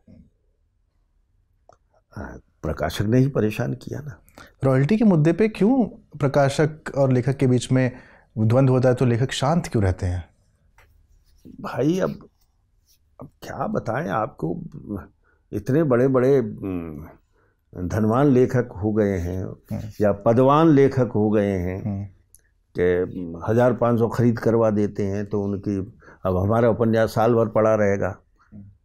दूसरे का उपन्यास तीन महीने में छप करके आ जाएगा तो कुछ तो वजह होगी उसकी। ठीक बात है। चलिए आ रहा हूँ वापस भर्तृहरि की तरफ़। इतिहास ना होकर इतिहास का आभास है इसमें। जी। यानी सत्य की जो रेखा है उसके करीब जाता है ये उपन्यास। जब आप इस तरह के उपन्यास लिख रहे होते हैं जिसमें इतिहास नहीं है लेकिन आभास है किन किन चीज़ों का ध्यान एक लेखक को रखना पड़ता है कि ये कोरा इतिहास भी ना बन जाए कल्पना भी इसमें रहे और जो बात कहना चाह रहे हैं वो आ जाए। कि ये मैंने दो उपन्यास खास तौर से ये लिखे हैं। एक ये है हम्म, और एक दूसरा भवभूति। भगवती हाँ। तो अ, पता नहीं मुझे क्या आदत है कि अ, मैं पूरा काम करता हूँ पहले। ये उपन्यास मैंने 2005 या 6 में शुरू किया था इसके काम इसके ऊपर काम करना और 2014 में आ पाया। और मैंने बहुत यात्राएँ की। आप आश्चर्य करेंगे कि कम से कम अस्सी हज़ार या एक लाख रुपए मैंने उसके ऊपर खर्च किया था। अच्छा। दूसरे उपन्यास पर भी मैंने किया है। जहाँ जहाँ भवभूति से जुड़े जो जो स्थान थे आप वहाँ मैं गए। मैं वहाँ गया। और वहाँ मैं देखता हूँ सोचने की कोशिश करता हूँ कि भाई उस समय पे कैसे कैसा रहा होगा वहाँ का क्या लिटरेचर है वहाँ की किंवदंतियाँ क्या है वहाँ भगवती कथा तो बहुत अच्छा है बहुत अच्छा लिखा है लोक में क्या उनके बारे में प्रचलित है तो ये। उस सिलसिले में मैं अब बहुभूति इनका भरतहरि का क्या है? भरतहरि फैले हैं आठवीं शताब्दी से लेकर के ग्यारहवीं शताब्दी के आरंभ तक भरतहरि कोई कहता है कि साहब दसवीं शताब्दी के बाद में गुरु गोरखनाथ तो दसवीं शताब्दी में हुए थे। और भरथरी वाले भी हैं वाक्य पदियम वाले भी हैं और जोगी भरथरी भी हैं जो गोरखनाथ के शिष्य हैं। गोरखनाथ के शिष्य हैं। तो आप कैसे करोगे? मैं बहुत मतलब बड़ा परेशान हुआ। उसमें उज्जैन में एक निगम साहब हैं डॉक्टर निगम थे। सॉरी। तो उनका एक कावेरी शोध संस्थान है, उज्जैन के ऊपर बड़ा काम है उसका, उज्जैन और आसपास के ऊपर। उनसे भी मैंने पूछी। वहाँ पर प्रोफेसर श्रीनिवास रथ हुआ करते थे, संस्कृत के उद्भट विद्वान थे। मैं रथ साहब के पास पहुँचा। तो जानते तो नहीं थे, मगर विद्वान लोग तो ऐसे होते हैं कि मैंने उनसे कहा, दो तीन बार में, मैं गया, पहले तो उन्होंने ज़्यादा वो नहीं किया, फिर मैं दो तीन बार फिर गया, दोबारा गया, फिर गया उनके पास। तो उन्होंने कहा कि भाई ये बताओ। मैं मेरी यही समस्या थी कि ये भरतहरि किस कौन से भरतहरि को लिखूं? हम्म, लिखना तो है मुझे क्योंकि उन्होंने तीन शतक लिखे हैं और अद्भुत है वो तो भाई। तो बोले कि मुझे ये बताओ मैंने उसमें ज़िक्र किया है अपनी भूमिका में। उन्होंने कहा कि तुम इतिहास लिख रहे हो या उपन्यास? तो मैंने कहा कि सर मैं तो उपन्यास ही लिख रहा हूँ। तो फिर उन्होंने कहा कि मुझे आज तक याद है। उन्होंने कहा कि फिर अपना भरतहरि खोजो। हम्म, मगर मैं अब ऐसा भरतहरि भी नहीं खोज सकता था कि वो जो भरतहरि प्रचलित है लोक में प्रचलित है थोड़ा बहुत उसका इतिहास में भी ज़िक्र है उससे बिल्कुल अलग हट जाए। भरतहरि हैं हैं उनकी पत्नी हैं। हम्म, अब इनके नाम भी नहीं बदल सकता था। हम्म, इनके पिता का नाम भी नहीं बदल सकता था। ये सब चीज़ें हैं और जहाँ जहाँ वो पहुँचे हैं जैसे गुरु गोरखनाथ के प्रचलित है लोक में प्रचलित है कि गुरु गोरखनाथ के शिष्य थे उनकी बहन थी मायावती अब वो बंगाल में ब्याही गई थी पाल वंश में जा कर के। तो ये लोक के इसको भी मैं तोड़ नहीं सकता था कि इसको नकार सकूँ। तो इन सब के बीच में फिर मैंने भरतहरि को खोजना शुरू किया। हम्म, तो यहाँ की कथा कुछ अलग है। इसकी मालवा की। राजस्थान में थोड़ी सी बदल जाती है यही कथ यही कथा। जो राजस्थान के गाने वाले आते थे वो हमारे यहाँ आज भी आते अब तो नहीं आते बीस पच्चीस वर्ष से यहाँ गाने वाले आते थे। तो आपने इन सब का ध्यान रखते हुए अपने भरतहरि को खोज भरतृहरि को खोजने की कोशिश कैसा संभव हो सकता? है फिर तीन नीत शतक श्रृंगार शतक वैराग्य शतक और सबसे बड़ा वो वाक्य पदियम वाक्य पदियम हाँ। वाक्य पदियम के लिए मैंने जितने पंडित मुझे संभव जिन जिन तक मैं पहुँच सकता था दो तीन तो संस्कृत कॉलेज के प्राचार्य उनसे मैंने संपर्क किया कि साहब ये मेरी समझ में नहीं आ रहा है। आप मुझे बताइए।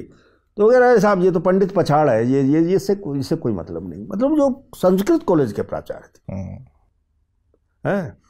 अब अब इन सबको जोड़ना। तो थोड़ा सा वैसा तो था। मगर अब मैं तो ईमानदारी की बात कहूँ भले ही मैं प्रगतिशील हूँ मैं तो महाकाल के समर्पण में पहुँच गया था। मैंने कहा जो कुछ करवाना है आप करवाइए नहीं कर रहा है तो मत कीजिए। नहीं प्रगतिशील होते हुए आप जजमानी वगैरह भी तो कर लेते हैं। हाँ करते हैं ना वो तो धंधा है नहीं तो क्या खाएँगे हमें? पेंशन मिलती नहीं है हम्म। वेतन है नहीं। भाई प्राइवेट स्कूल में नौकरी की थी। द्वंद्व नहीं पैदा होता? द्वंद्व होता है ना। क्या करते हैं तो क्यों नहीं होता? कम से कम झूठ बोलने की कोशिश करता हूँ। जो उसमें झूठ होता है हम्म। उसको बहुत कम से कम करके ज़रा तार्किक बना कैसे बन सकता है है? और पाखंड बहुत कम से कम कम से कम पाखंड जितना बन सकता है। यानी जजमानी में प्रगतिशीलता। हाँ तो अब कुछ भी कह लें आप उसको। अब चूँकि धंधा है तो वो तो करते ही है। हम्म। तो उस तरह से। चलिए कामिनी काय कांतारे यानी भर्तृहरि काया के वन में की एक घटना पर आ रहा हूँ कि भर्तृहरि जो है वो विलासिता में डूबे हुए हैं। व्यसनी अगर उनको कहा जाए। पत्नी है पिंगला। जब पिंगला का मामला आता है तो उनसे बर्दाश्त नहीं होता। हम्म। और वो पिंगला को दंडित करने की बजाय खुद को दंडित करते हैं और निकल जाते हैं। क्या यहाँ पर ये सुधार चेतना का मामला था?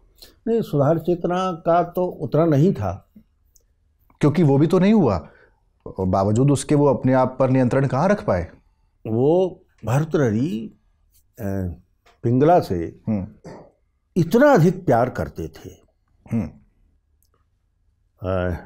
इस सिंह ने लिखा है एक जगह पर कि भरतरी नाम के एक राजा थे उज्जैन में और वो अपनी पत्नी को छोड़ करके तीन बार हम्म। नहीं सात बार सॉरी इस सिंह ने लिखा है कि सात बार वो घर छोड़ते हैं अपनी पत्नी की उस पर पुंशला होने पर और सात बार उसी पत्नी के पास लौट करके आते हैं। हम्म, हम्म। ये सिंह का है। वेद सांग कहते हैं वेद सांग कहते हैं चीनी यात्री थे उनका। तो ये एक मेरे पास एक आधार था ऐतिहासिक आधार। कोई आदमी जो अपनी पत्नी को पुंशला मानता है उसके पास बार बार लौट करके क्यों आता है? राज्य के लिए नहीं आता है। हम्म। भरतरी एक जगह पे लिखते हैं वो भवभूत भरतरी एक जगह पे लिखते हैं कि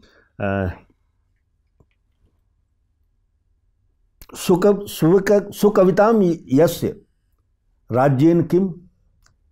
यानी इतना बड़ा कवि भी तो है वो। वो कहता है कि जिसके पास सुंदर कविता है उसको राज्य की क्या ज़रूरत है? तो राज्य से उसको लगाव नहीं है, क्योंकि राजा है वो, मगर वो कविता के लिए राजा, राज्य को छोड़ सकता है। सुकवितम यत्रास्ति, राज्य ने क्यों यत्रास्ति है उसमें। अब वो लौट करके किसके लिए आता है? पत्नी के लिए। बार बार लौटते हैं भरतरी और पिंगला के लिए लौटते हैं। यहाँ पर ये पुरुष अहम और पुरुष चेतना का मामला ज़्यादा नहीं दिख रहा है कि आप पिंगला से ज़्यादा भर्तृहरि को ग्लोरीफाई कर रहे हैं कि देखिए भले ही वो कैसा भी आदमी है वो लौट रहा है। पिंगला भी तो इंतज़ार में है। पिंगला है ना इंतज़ार में? आप आप देखिए उस उपन्यास में मैंने मैं मैंने स्वीकार नहीं किया जबकि लोक में ये प्रचलित है कि वो पुंशला है पिंगला। हम्म। आपने नहीं किया स्वीकार हाँ। हम्म। आपने उसको एक कथा के तौर पर बना के कि वो एक तरीके का नाटक है। हाँ। हाँ आपने ऐसे उसको मैं अच्छा मुझे अंतर से ही स्वीकार नहीं हो पाया कि पुंशला हो सकती है। या मतलब आ, मैं अच्छा एक चीज़ और। अगर अंतर से आपको स्वीकार नहीं हो पाया क्यों फिर पिंगला को आप विद्रोही नहीं दिखा पाए? क्यों उसको पत्नी व्रता ही दिखाया आपने? क्योंकि वो कि वो उसी के इंतज़ार में बैठी है। इतना हाँ। सब कुछ हो जाने के बावजूद। वो वो शायद उस समय के एक दबाव रहा हो। वो मैं जैसे एक लेखक की मानसिकता बन जाती है तो उस समय में जीना शुरू कर देता है। कम से कम मेरे साथ में तो यही है। हम्म। कि जो रचना का वो होता है तो मैं मैं लगभग उससे बाहर नहीं जा पाता हूँ। हम्म, हम्म। मेरे लिए शायद ये ज़रूरी रहा होगा कि मैं स्त्री को उसको पुरुष चला न दिखा पाऊँ। नहीं पुरुष चला के तौर पर विद्रोही क्यों दिखाना है? विद्रोह का मतलब है कि आप मत स्वीकार करिए। वो इतनी वो भी तो व्यसनी है। वो भी तो इतनी सारी स्त्रियों के पास से होकर आ रहा है। बावजूद उसके वो उसी का इंतज़ार कर रही है। तो ये मैं मैं कह रहा हूँ कि वो क्या वहाँ पर विरोध नहीं करना चाहिए था आ, पिंगला को भर्तृहरि का? देखिए पिंगला के साथ स्वीकार कर रही है। पिंगला के साथ में हम्म। एक और स्त्री खड़ी हुई है। मुझे अब मैं स्मरण उसको कर पा रहा हूँ। पति व्यभिचारी है और वो स्वीकार कर रही है। पिंगला के साथ में एक स्त्री खड़ी हुई है वैश्यिका हम्म। वैश्यिका ज़्यादा दृढ़ हम्म। और ज़्यादा विद्रोही मुझे नज़र आती उसमें। और मतलब वैश्य का कोई पात्र नहीं है। हम्म, हम्म। कोई ऐतिहासिक पात्र नहीं है। वैश्यिका को मैं लाया था सिर्फ़ इसलिए हम्म। कि उस समय पर उज्जैन में एक बड़ी मंडी थी जिसमें दासों की बिक्री होती थी। तो मैं ये दिखाना चाहता था कि उज्जैन में दासों की बिक्री होती है। वैश्यिका वहाँ आई। वो भी वो मंडी में आई और ख़रीद करके जब वो पहुँचती है तो वैश्य का मतलब मैं सिर्फ़ इतने के लिए लाना चाहता था और वैश्य का आगे बढ़ती चली गई। वैश्य का मेरे काबू में ही नहीं रही। मतलब धीरे धीरे मैंने जगह जगह पर वैश्य को लगाम लगाने की कोशिश की मगर का नहीं रुक पाई। यानी कि पात्र कहानी को आगे ले जा रहे थे। हाँ। मतलब मैं मैंने मैंने बहुत कोशिश की।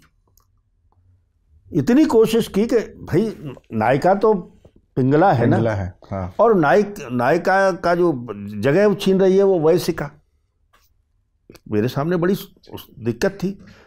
और अंत में भी वो वैश्य का ही सामने आ जाती है। हम्म।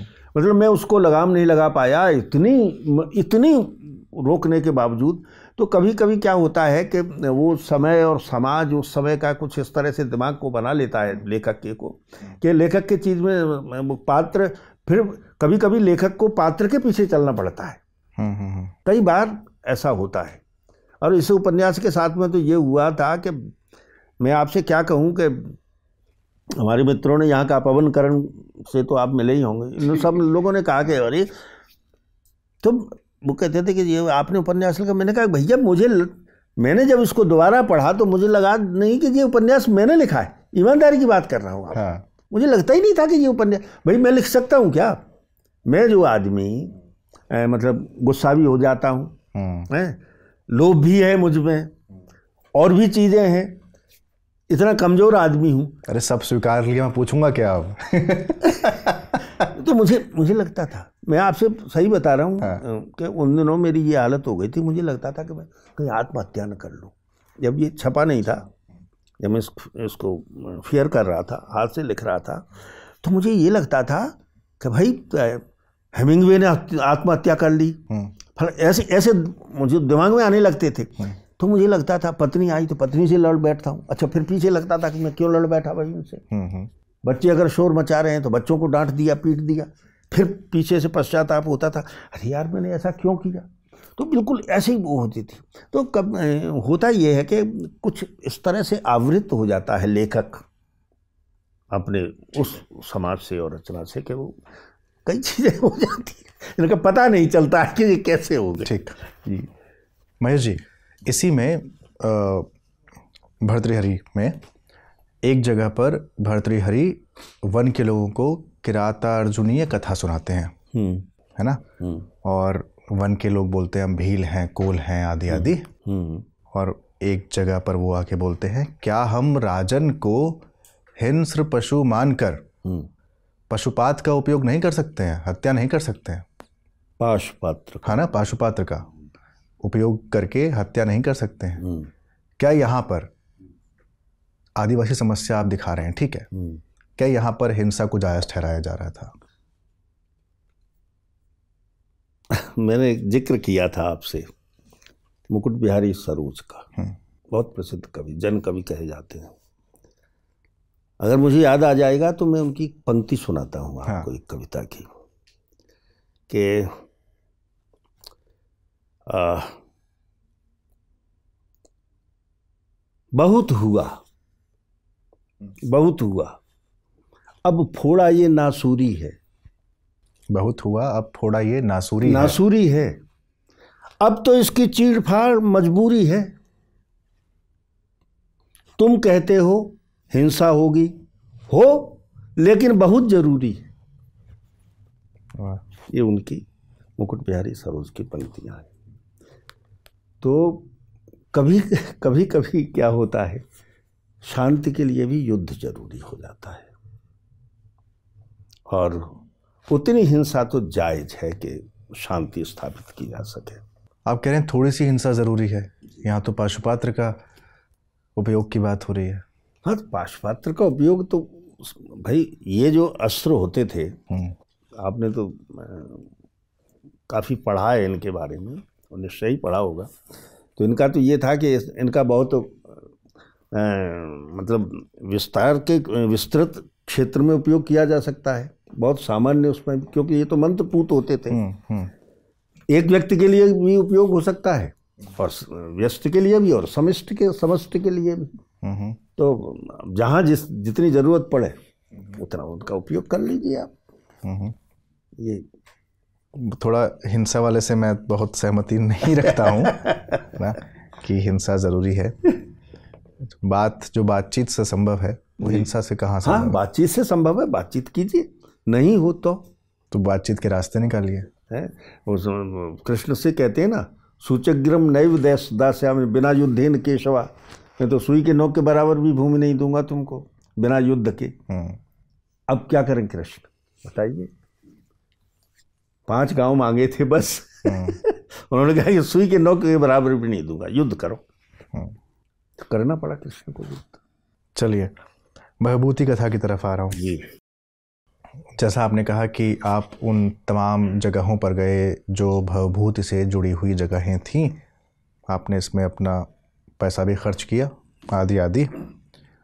सवाल मेरा यह है कि लेखक जब सशरीर वर्तमान में उपस्थित है और इतिहास या व्यक्तित्व पर लिखते हुए वो अतीत में जाता है। तो दो कालखंडों का जो संतुलन है वो कैसे साधता है?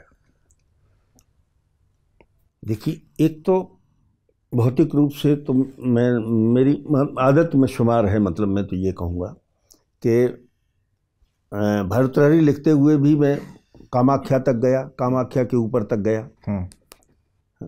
बंगाल में तो अब देखने को कुछ ज़्यादा था ही नहीं। हम्म। अब वहाँ पे वो न पाल साम्राज्य बचा है ना उसका कोई अवशेष शेष है। अब चूँकि वो ढाका की ढाका में था तो ढाका में मैं जा नहीं सकता था। तो उसकी तो कल्पना की है मगर मैंने आसाम में वहाँ तक मैं उन, उनको उनका पीछा करते हुए गया था। इसी तरह से भवभूति वहाँ से चलते हैं जैसे उनका जन्म हुआ था। हम्म, मैं उस गाँव में जाना चाहता था। तो चंद्रपुर गया। चंद्रपुर से फिर उन्होंने नहीं अनुमति नहीं मिली हमको कि आप वहाँ जाइए नक्सली इलाका वगैरह वगैरह है। मगर मैंने चूँकि वो घूम करके थोड़ा सा देखा तो उस समय पे मैं एक दिमाग में लाने की कोशिश की ये कैसा रहा होगा आज से बारह सौ तेरह सौ वर्ष पहले? और ये यही होता है। मैं जैसे कन्नौज गया। कन्नौज में वो किला किले का ढू बच गया है बस। हम्म। तो कन्नौज में मैं रात को बैठा रहा वहाँ पर। अब तो वहाँ पे चूँकि वो हम्म, मज़ारें बन गई हैं। हम्म। तो वो लोग थोड़े से परेशान भी हुए थे कि क्यों आदमी बैठा हुआ है रात को दस बजे यहाँ पर। हम्म। अ, मगर उन्हें मुझसे कोई परेशानी नहीं थी मुझे उनसे कोई परेशानी नहीं थी। तो मैंने उनको बताया कि मैं मैं देखना चाहता हूँ यहाँ से शहर को देखना चाहता हूँ यहाँ से गंगा जी को देखना चाहता हूँ। तो फिर उस समय पर रात में एक, एक कल्पना सी बनती है कि कैसा रहा होगा ये उस समय हमने जो पढ़ा है उस उससे मिलान करते हुए उसको देखते हुए तो ये चीज़ें उस तरह से बनती जाती हैं। हमेशा जैसे भवभूति यात्रा करते हैं तो आप सच मानिए कि एक लेखक भी उनके साथ में जाता यात्रा करता है ठीक। और भाषा भी फिर उसी हिसाब से बदलती चली जाती है क्योंकि आपको भाषा ज़ाहिर सी बात है तभी की शब्द आपको इस्तेमाल करने पड़ेंगे प्रयोग में लाने पड़ेंगे।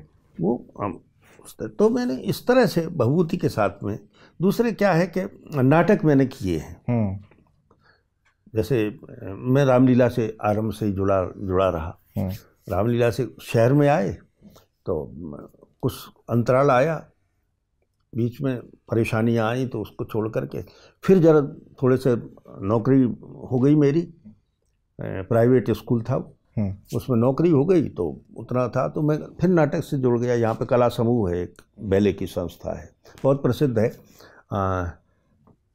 उदय शंकर भट्ट के शिष्य हुआ करते थे। वर्धन साहब। जी। हाँ, आपने राज कपूर की कई फ़िल्मों में जो समूह गान होते हैं हम्म, वो उन्हीं के कोरियोग्राफी होती थी हमेशा। अभी भी हैं यहाँ पे चौकुदी उनका क्या कौन सी वर्धन है उनका नाम? पांचाली वर्धन नाम है उनका चौकुदी कहते हैं हम उनको। अच्छा। तो वो बचपन में उन्होंने वो राज कपूर के साथ मतलब गोद में बैठ करके और वो समूह नृत्य में शामिल होती थी। आज भी यहाँ है। और तो वो यहाँ पे स्वर्गीय शांति वर्धन उनका नाम था उदय शंकर भट्ट के शिष्य थे वो। फिर उसमें दादा थे क्या नाम प्रभात गांगुली। हम्म, हम्म, बहुत बड़े कोरियोग्राफर थे प्रभात गांगुली। उनकी संगत मुझे मिली। हम्म, हम्म, अशोक वाजपेयी उनको ले गए भोपाल ले गए। हम्म, तो ग्रांट वगैरह उनके साथ में चली गई।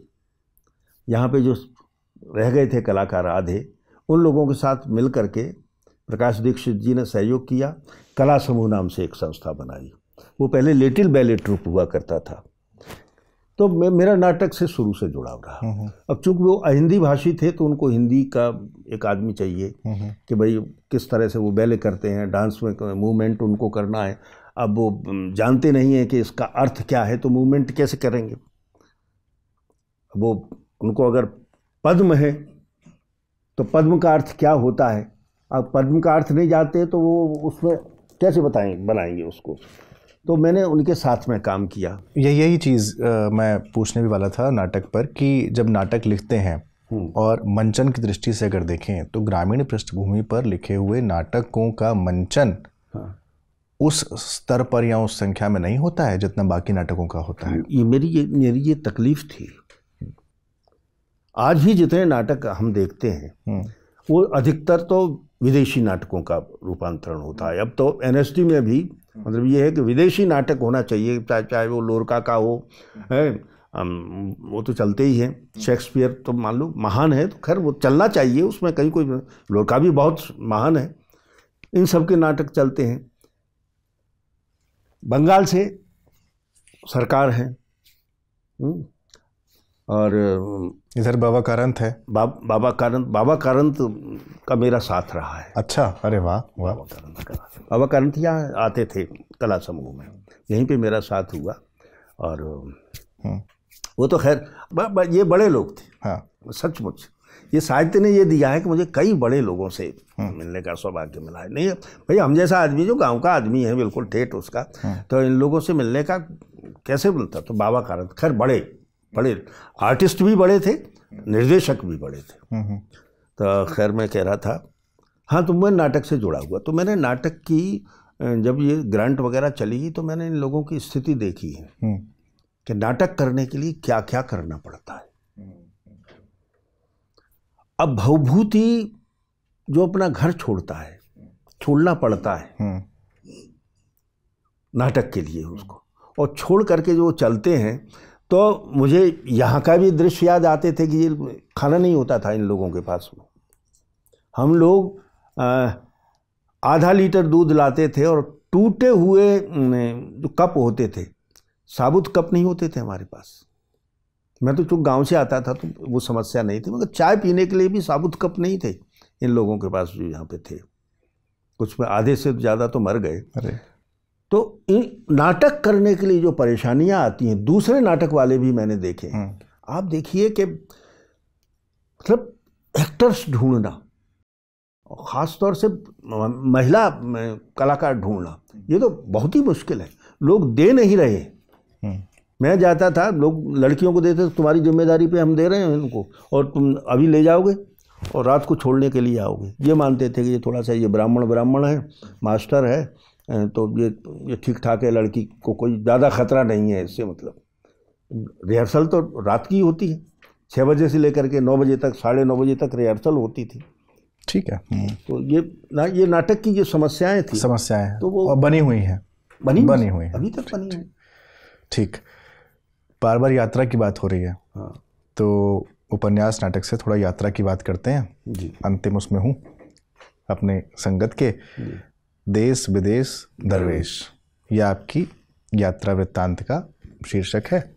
दो तीर्थ यात्राएँ हैं इसमें और एक विदेश यात्रा है।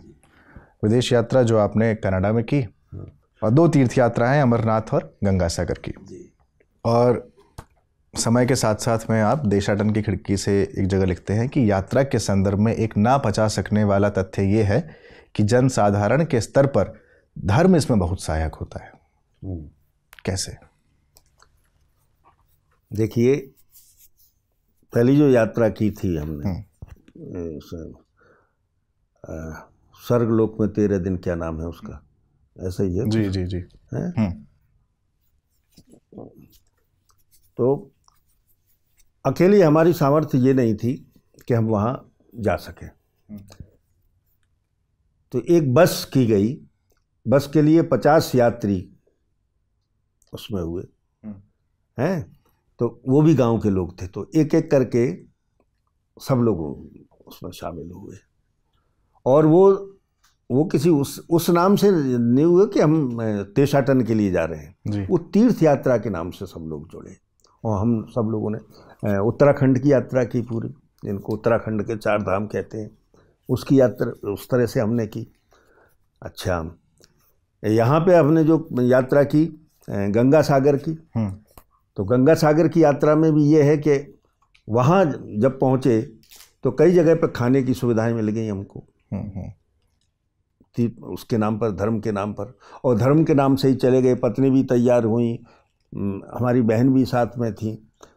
तो ये यात्रा करने के लिए एक प्रकार से मेरा ख्याल है कि शंकराचार्य जी ने भी जो चार मठ बनाए थे चार उसमें स्थान करने के लिए धार्मिक रूप दे दिया उनको कि लोग जाएँ तो देश को जाने इस तरह से। चारों जगह पे यात्रा करें एक पूर्व में एक पश्चिम में एक दक्षिण में एक उत्तर में चार उन्होंने शंकराचार्य जी ने मठ स्थापित किए। हम्म। तो इस तरह से धर्म काम आता है यात्रा करने के लिए। कम से कम ऐसे लोगों के लिए जो बहुत सक्षम नहीं है कि साहब विशेष हवाई जहाज़ अपने लिए तैयार कर सकें या प्रथम श्रेणी या द्वितीय श्रेणी की यात्रा कर सकें उसमें ट्रेन में। बहुत मुश्किल होता है ये सब यात्राएँ करना। इतना ज़्यादा धर्म को आप वो कर रहे हैं प्रगतिशील जितने लेखक आपके हाँ, मित्र हैं सब बहुत बुरा मान जाएँगे। देखिए देखिए देखिए वही वो वो भी एक मैं आपसे कहना चाहता हूँ कि कुछ प्रगतिशील तो ये कहते थे अरे तुम तो भाजपाई हो गए हो। क्यों कि धोती पहनते हो। एक एक ने तो मुझसे कहा कि तुम धोती पहनते हो। मैंने कहा धोती तो हम हमारा ये कहना था उन्हें कि धोती तो ज्योति बसु भी पहनते थे। नामवर अब सिंह आप कहिए उनको। नामवर जी भी पहनते थे। नामर जी भी पहनते थे। तो हमने कहिए उनको। तो बोले कि नहीं तू हमने कहा कि देखो भाई धर्म और रिलीजन को कोई इंडिया और वो वाला बात आ जाए धर्म और रिलीजन एक नहीं है। हम्म, हम्म, मैं अभी मुझे याद नहीं आ रहा आप मैं इस कार्यक्रम के बाद में मैं आपको नोट करा दूँगा मेरे पास वो नोट रहे कि धर्म क्या है। हम्म, हम्म, कहीं रिलीजन होगा धर्म? हमारे यहाँ धर्म रिलीजन नहीं है। हम्म, उसके जो दस अंग हैं धर्म के जैसे सत्य है अस्तेय है अशौच है क्षमा है ये ये धर्म के अंग हैं। अब इन सबको मिला करके देखिए कि धर्म का क्या स्वरूप बनता है। अब उसका ये तो है नहीं कि साहब नहीं है ये हमने ये बना दिया कि साहब बहुत से लोग मानते हैं कि साहब वो मनुस्मृति है धर्म। अरे मनुस्मृति धर्म थोड़ी है। एक समय का कानून है वो हम्म, जो अपने हित के लिए बनाया मगर कानून उन्होंने अपने हित के लिए बना दिया। वो धर्म नहीं है। तो एक तो हमें धर्म में ये सोचना होगा कि ये धर्म उस तरह से नहीं है जिस तरह से हम रिलीजन के अर्थ में इसको लेते हैं। मैं तो नहीं लेता हूँ। ठीक। भले ही सारे प्रगतिशील उसको लेते रहें। हम्म, हम्म, अगर सत्य बोलना धर्म है तो बहुत अच्छी बात है उसमें क्या परेशानी? तो इस तरह से अच्छा अब लोग जाते हैं अपनी श्रद्धा के साथ। ये आप यहाँ पे वो दूसरी चीज़ जुड़ जाती है। उन्होंने कहा पाप दूर हो जाएँगे। हैं? हमारे जो जो भी हमने कुछ किया है हैं? मनसा वाचा कर्मणा जो कुछ भी हमसे गलत हो गया है वो सब हट जाएगा। स्वर्ग मिल जाएगा। हैं। तो स्वर्ग में तो खैर मेरा भी उतना विश्वास नहीं है कोई स्वर्ग होता है यहाँ पे। अगर हम अपने ढंग से बने रहें अच्छे ढंग से अपने आसपास को समाज को बना सकें तो हमारे लिए तो वही स्वर्ग है। मैंने आपसे पहले भी बताया कि मैं उस तरह से उन चीज़ों पर विश्वास नहीं करता। गंगा सागर की यात्रा जब आपने की जी। आपको कथाक्रम सम्मान मिला था। जी। उसके मिले धनराशि से हाँ। आपने वो यात्रा की। हाँ। और आप बहुत समय से ये योजना बना रहे थे कि आप कर पाए कर पाएँ। हाँ। लेकिन उतना शायद पैसे नहीं थे या जो भी था हाँ नहीं कर पाए आपने। लेकिन वहाँ पर वामपंथ की सरकार थी और आपने लिखा आपका मोह भंग हो गया। हाँ। वहाँ वामपंथ की सरकार में मोहभंग यो हुआ कि वहाँ भी इतना अंधेर मैंने देखा कोलकाता में कि वहाँ दिखती नहीं थी कि कहीं सरकार है। आप देखिए कि यात्रा करने के लिए बस में सरकारी बस में जगह नहीं मिल रही। हम्म, जो वहाँ की बसें ही स्टेट ट्रांसपोर्ट उनमें तो जगह ही नहीं मिल रही है आपको। हम्म, अब दूसरे जो चल रहे हैं दुनिया भर के हम्म, वामपंथी शासन में हम्म, प्राइवेट बसें जो चल रही हैं वो चौगुना किराया ले रही हैं। हम्म, और उन्हीं की नाक के नीचे ले रही हैं कोलकाता से। हम्म, फिर आप जाइए कहीं किसी भी दुकान पे आप पहुँचते हैं अनाप शनाप वस्तुओं की कीमतें। हम्म, भैया कहाँ है सरकार? ए, एक बात ज़रूर देखी मैंने उसमें और शायद उसमें ज़िक्र भी किया है कि वहाँ तीन भाषाओं में अनाउंसमेंट हो रहा था गंगा सागर में। हम्म, उसमें एक थी अंग्रेज़ी दूसरी बांग्ला और तीसरी हिंदी। अब उसका हिंदी का ये हो कि चूँकि हिंदी प्रदेशों से बहुत से लोग जाते लोग जाते थे हाँ। हैं तो ये उनका कारण रहा। हो ये एक अच्छी बात देखी बाकी सरकार मुझे वहाँ पे कहीं नहीं दिखी। और इसीलिए आप बिना काली दर्शन किए लौट आए क्योंकि काली दर्शन तो मैंने मैं नहीं कर पाया। मैं मैं और मेरी पत्नी दोनों नहीं कर पाए मैंने कहा कि ठीक है तो यहीं से हाथ जोड़ लो। हम्म, बहन ज़रूर कूद फांद करके चढ़ गई थी हम्म, हैं तो हमने कहा यहीं से हाथ जोड़ लो बस हो गए अब आ गए मंदिर पे। हम्म, हमें तो पत्नी को भी संतुष्ट करना था ना कि भाई हमने तो आ गए दरवाजे पे बस हो गया अपना तो। चलिए एक छोटा सा सवाल और लूँगा। क्योंकि मैं बात तो आदि पाप पर भी करना चाह रहा था आपसे लेकिन आपकी कहानी है काठ की कोख। उसमें दो पात्र हैं सरयू और गोमती। हम्म, दोनों नदियाँ हैं लेकिन यहाँ पर दोनों मानवीय रूप लेके हम्म, नाम उनका सरयू और गोमती है। जब इस तरह के आप कहानियों के पात्र गढ़ते हैं जो कि नदी के नाम से प्रचलित हैं क्या भाषा लिखते हुए भी इस बात का ध्यान रखना पड़ता है कि जिस रूप में वो प्रचलित हैं नाम वो भी दिखलाई दे और जो मानवीय स्वरूप है वो भी दिखलाई दे। जैसे एक जगह आपने लिखा कि गोमती अपने ही भीतर डूबती जा रही थी। उसी में एक जगह ये वाक्य आता है। नहीं उस कहानी में नहीं है। हम्म, उस कहानी में तो ये है कि ये जो नाम थे वो प्रायः जिस तरह से गाँव में रखे जाते थे हम्म, उस तरह से किसी का नाम गोमती रख दिया किसी का गंगा रख दिया किसी का सरस्वती रख दिया है? और अगर मान लो कोई सोमवार का जिसका जन्म हुआ तो उन्होंने कहा कि ये सोमा है सोमवती हो गई। हम्म, हम्म, उस तरह उसमें नहीं बल्कि कई जगह पे। हम्म, मैंने मैं उसी तरह से नाम रखता हूँ जो अपने पारंपरिक रूप से जो विशेष अर्थवाची होते हैं। मैंने नाटकों में ऐसे नाम लिखे हैं। अंधेरे युगांत में बारह स्त्रियाँ हैं न- न- आठ नौ स्त्रियाँ हैं। कोई आश्लेखा है कोई चित्रा है कोई ये है। तो मैंने उसी हिसाब से क्योंकि तो चंद्रमा की बारह कलाएँ होती हैं तो मैंने उसी हिसाब से उनके नाम लिखे हैं। तो कई जगह पे ऐसा होता है कई जगह पे यह है कि जो भी प्रचलित नाम हैं चलते हैं। अब जैसे डरू नाम हम्म, रख देते हैं गाँव में अब तो नहीं रखते अब किसी को नहीं मिलेगा। हमारे समय पर रख डरू जो डर जाते थे उनको कहते थे कि डरू लाल हैं ये तो और बड़े बड़े अच्छे सम- संपन्न घरों में उनको डरू लाल हैं ये तो। तो वो उसमें इसमें तो इसी तरह से जो नाम रखे जाते थे उसमें है। मैंने उधर इसलिए देखा कि हमारे यहाँ भी एक डरूलाल है। टीम में। भी मास्टर कैमरा हैंडल कर रहे हैं इस समय। चलिए। प्रथम पुरुष में कहानी लिखने के खतरे होते हैं? हाँ बेशक होते हैं। मुझे तो लगता है कि प्रथम पुरुष में कहानी लिखने के खतरे होते हैं कि क्योंकि चाहे और अनचाहे। हम्म। लेखक उसमें कहीं ना कहीं आ जाता है। हम्म। और मैं ये मानता हूँ कि लेखक रचना आने से तो नहीं रहता है वो तो रचना में आएगा ही किसी न किसी रूप में। मगर वो दूर जितना रहे हम्म। उतना ही अच्छा है। और मैं मैं वो सीधे सामने आ जाता है लेखक। दिल्ली से दूर रहे। इस बात की हानि हुई। दिल्ली से दूर रहने की हानि हुई। हमको? आ, नहीं भौतिक स्तर पे हानि हुई। मगर मैं मैं समझता हूँ कि मैं मेरे लेखन में उससे कोई हानि नहीं हुई। हम्म, दिल्ली में रहता मैं सोचता हूँ कि अगर मैं दिल्ली में होता तो मुझे न तो पढ़ने की फुर्सत मिल पाती हम्म, न उस तरह से लिखने की फुर्सत मिल पाती। हम्म, न इतना इतना शांत मुझे वातावरण मिल पाता जैसा गाँव में मिलता है कि अपने रात को बैठे हैं तो अपना एक संसार बना लिया चारों तरफ़। कहीं कोई परेशानी नहीं कोई कुत्ता भूख गया तो भूख गया कहीं शार बोल रहे हैं तो बोल रहे हैं वो भी कहीं ना कहीं और आपको प्रेरित कर रहे हैं या या कोई मान लो उल्लू बोल रहा है। ये इस तरह से भांति भांति के विशेष प्रकार के शोर हैं आप तारे तारों को नहीं देख सकते। दुर्भाग्य है कि मतलब दिल्ली में कितने लोग होंगे जिन्होंने तार तारे देखे होंगे दस बीस साल में। कोई नहीं देख देख पाता। तो मुझे लगता है कि नहीं मुझे लेखन में मुझे वहाँ से कोई नुकसान नहीं हुआ। हाँ भौतिक स्तर पर कई चीज़ें ऐसी होती हैं कि जैसे विदेश यात्रा कर रहे हैं कहीं ना हुआ तो एक बार मेरा नाम कटवा दिया उन्होंने कहा चलो हटो तो ये भी हटाओ। वो, दूसरे आ गए वहाँ पे। उन्होंने कहा ये छोड़िए इनको। तो इस तरह के कुछ लाभ हानि भौतिक होते हैं। दिल्ली वाले तारे देखते नहीं हैं लेकिन धड़े ऐसे हैं तारे दिखाने की कोशिश करते रहते हैं।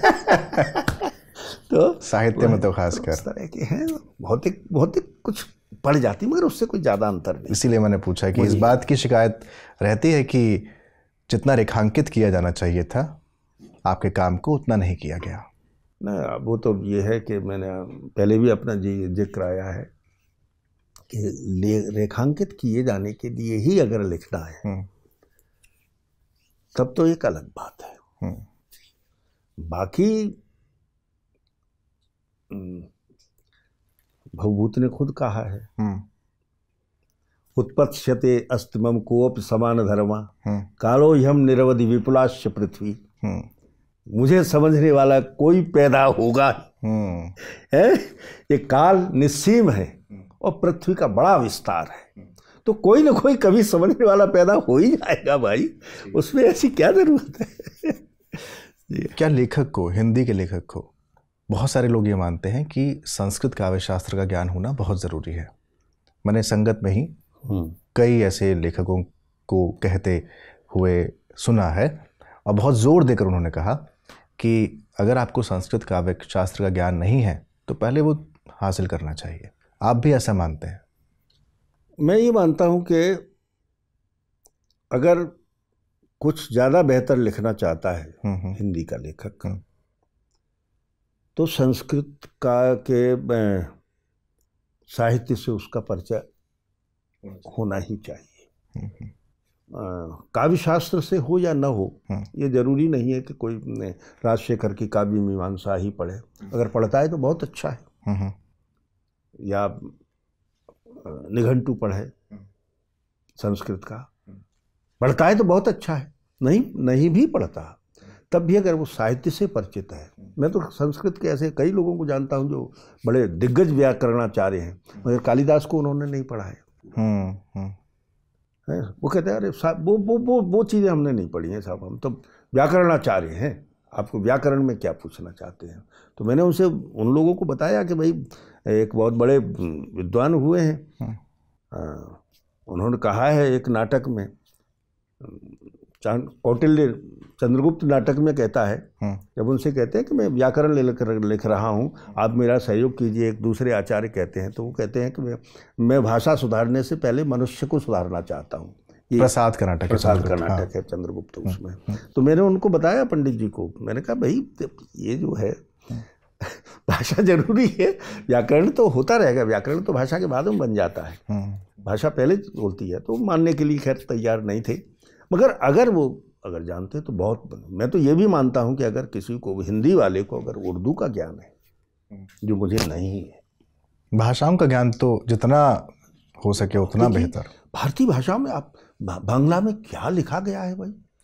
तकशी शिव शंकर पिल्लई को देखिए आप चैमीन हम्म। जरा सा इतना सा छोटा सा उपन्यास है आप देखिए। और वो टक्कर मार रहा है उसको the old man and the sea को। मराठी? मराठी? है? शिवाजी सावंत?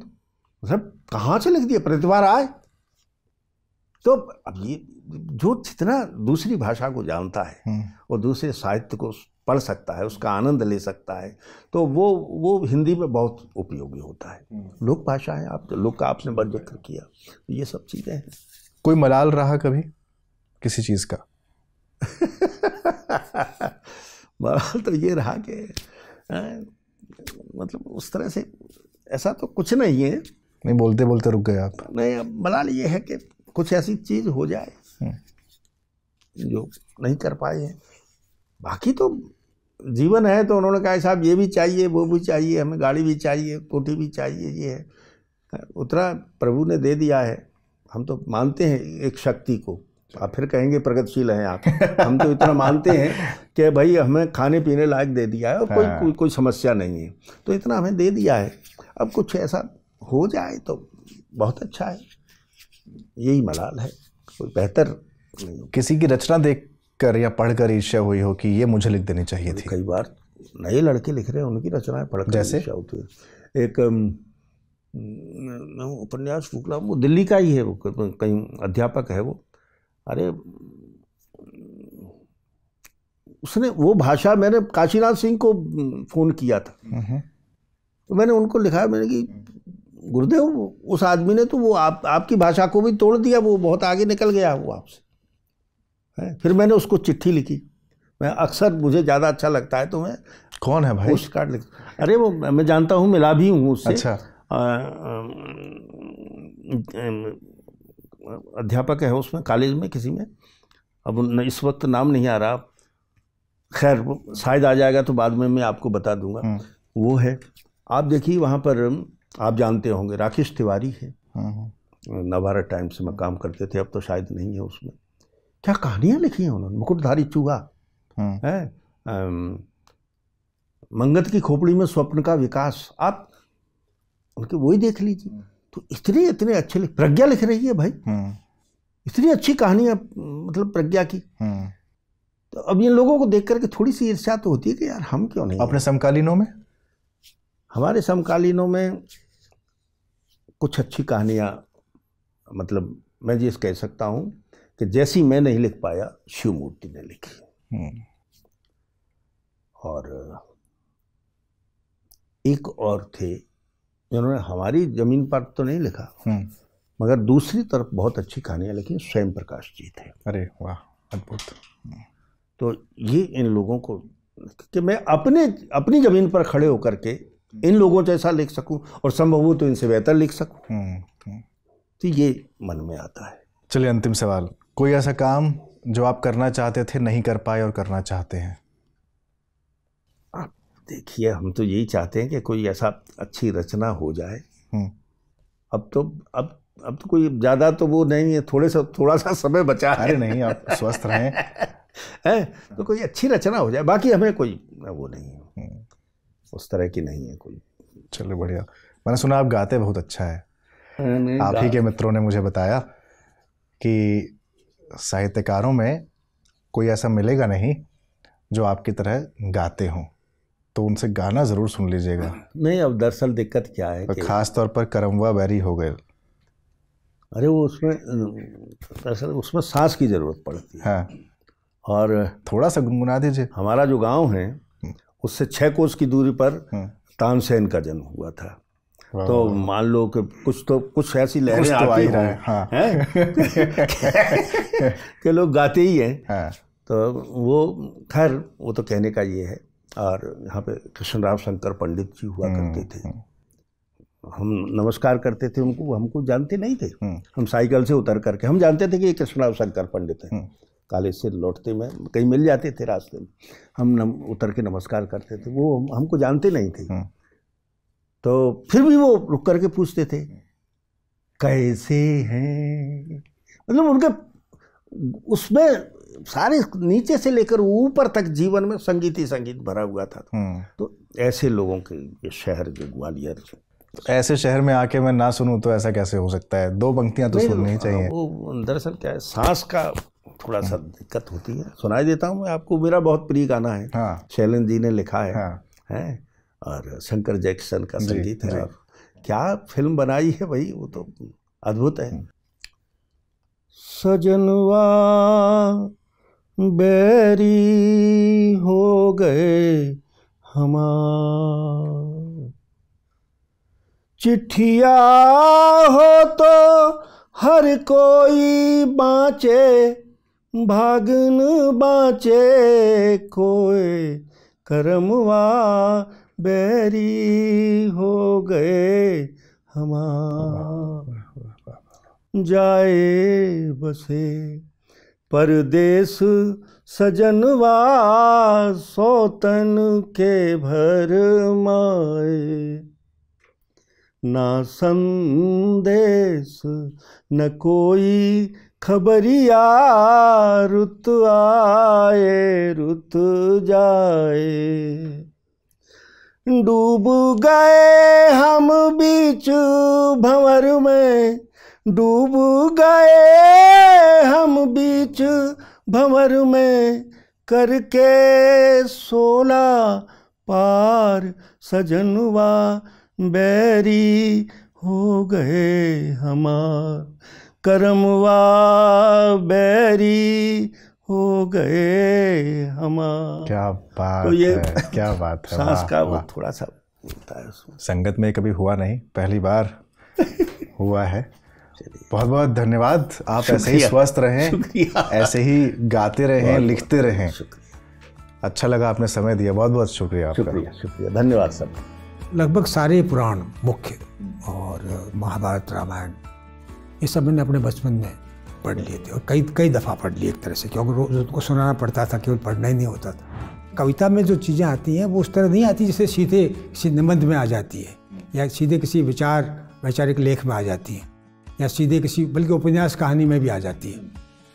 कविता का एक ढंग अलग है। क्या जिस अर्थव्यवस्था में, जिस राज्य व्यवस्था में हम रह रहे हैं, वो कुछ सुखी करने वाले हैं? लेकिन आपको मारना चाहता हूँ, आपकी ज़मीन पे कब्जा करना चाहता हूँ, आपके साधनों पे कब्जा करना चाहता हूँ, लेकिन ये नहीं चाहता कि आप मेरे साधनों पे कब्जा करें। जिस परंपरा में हम हैं, उसमें सूरज किस चीज़ का प्रतीक है?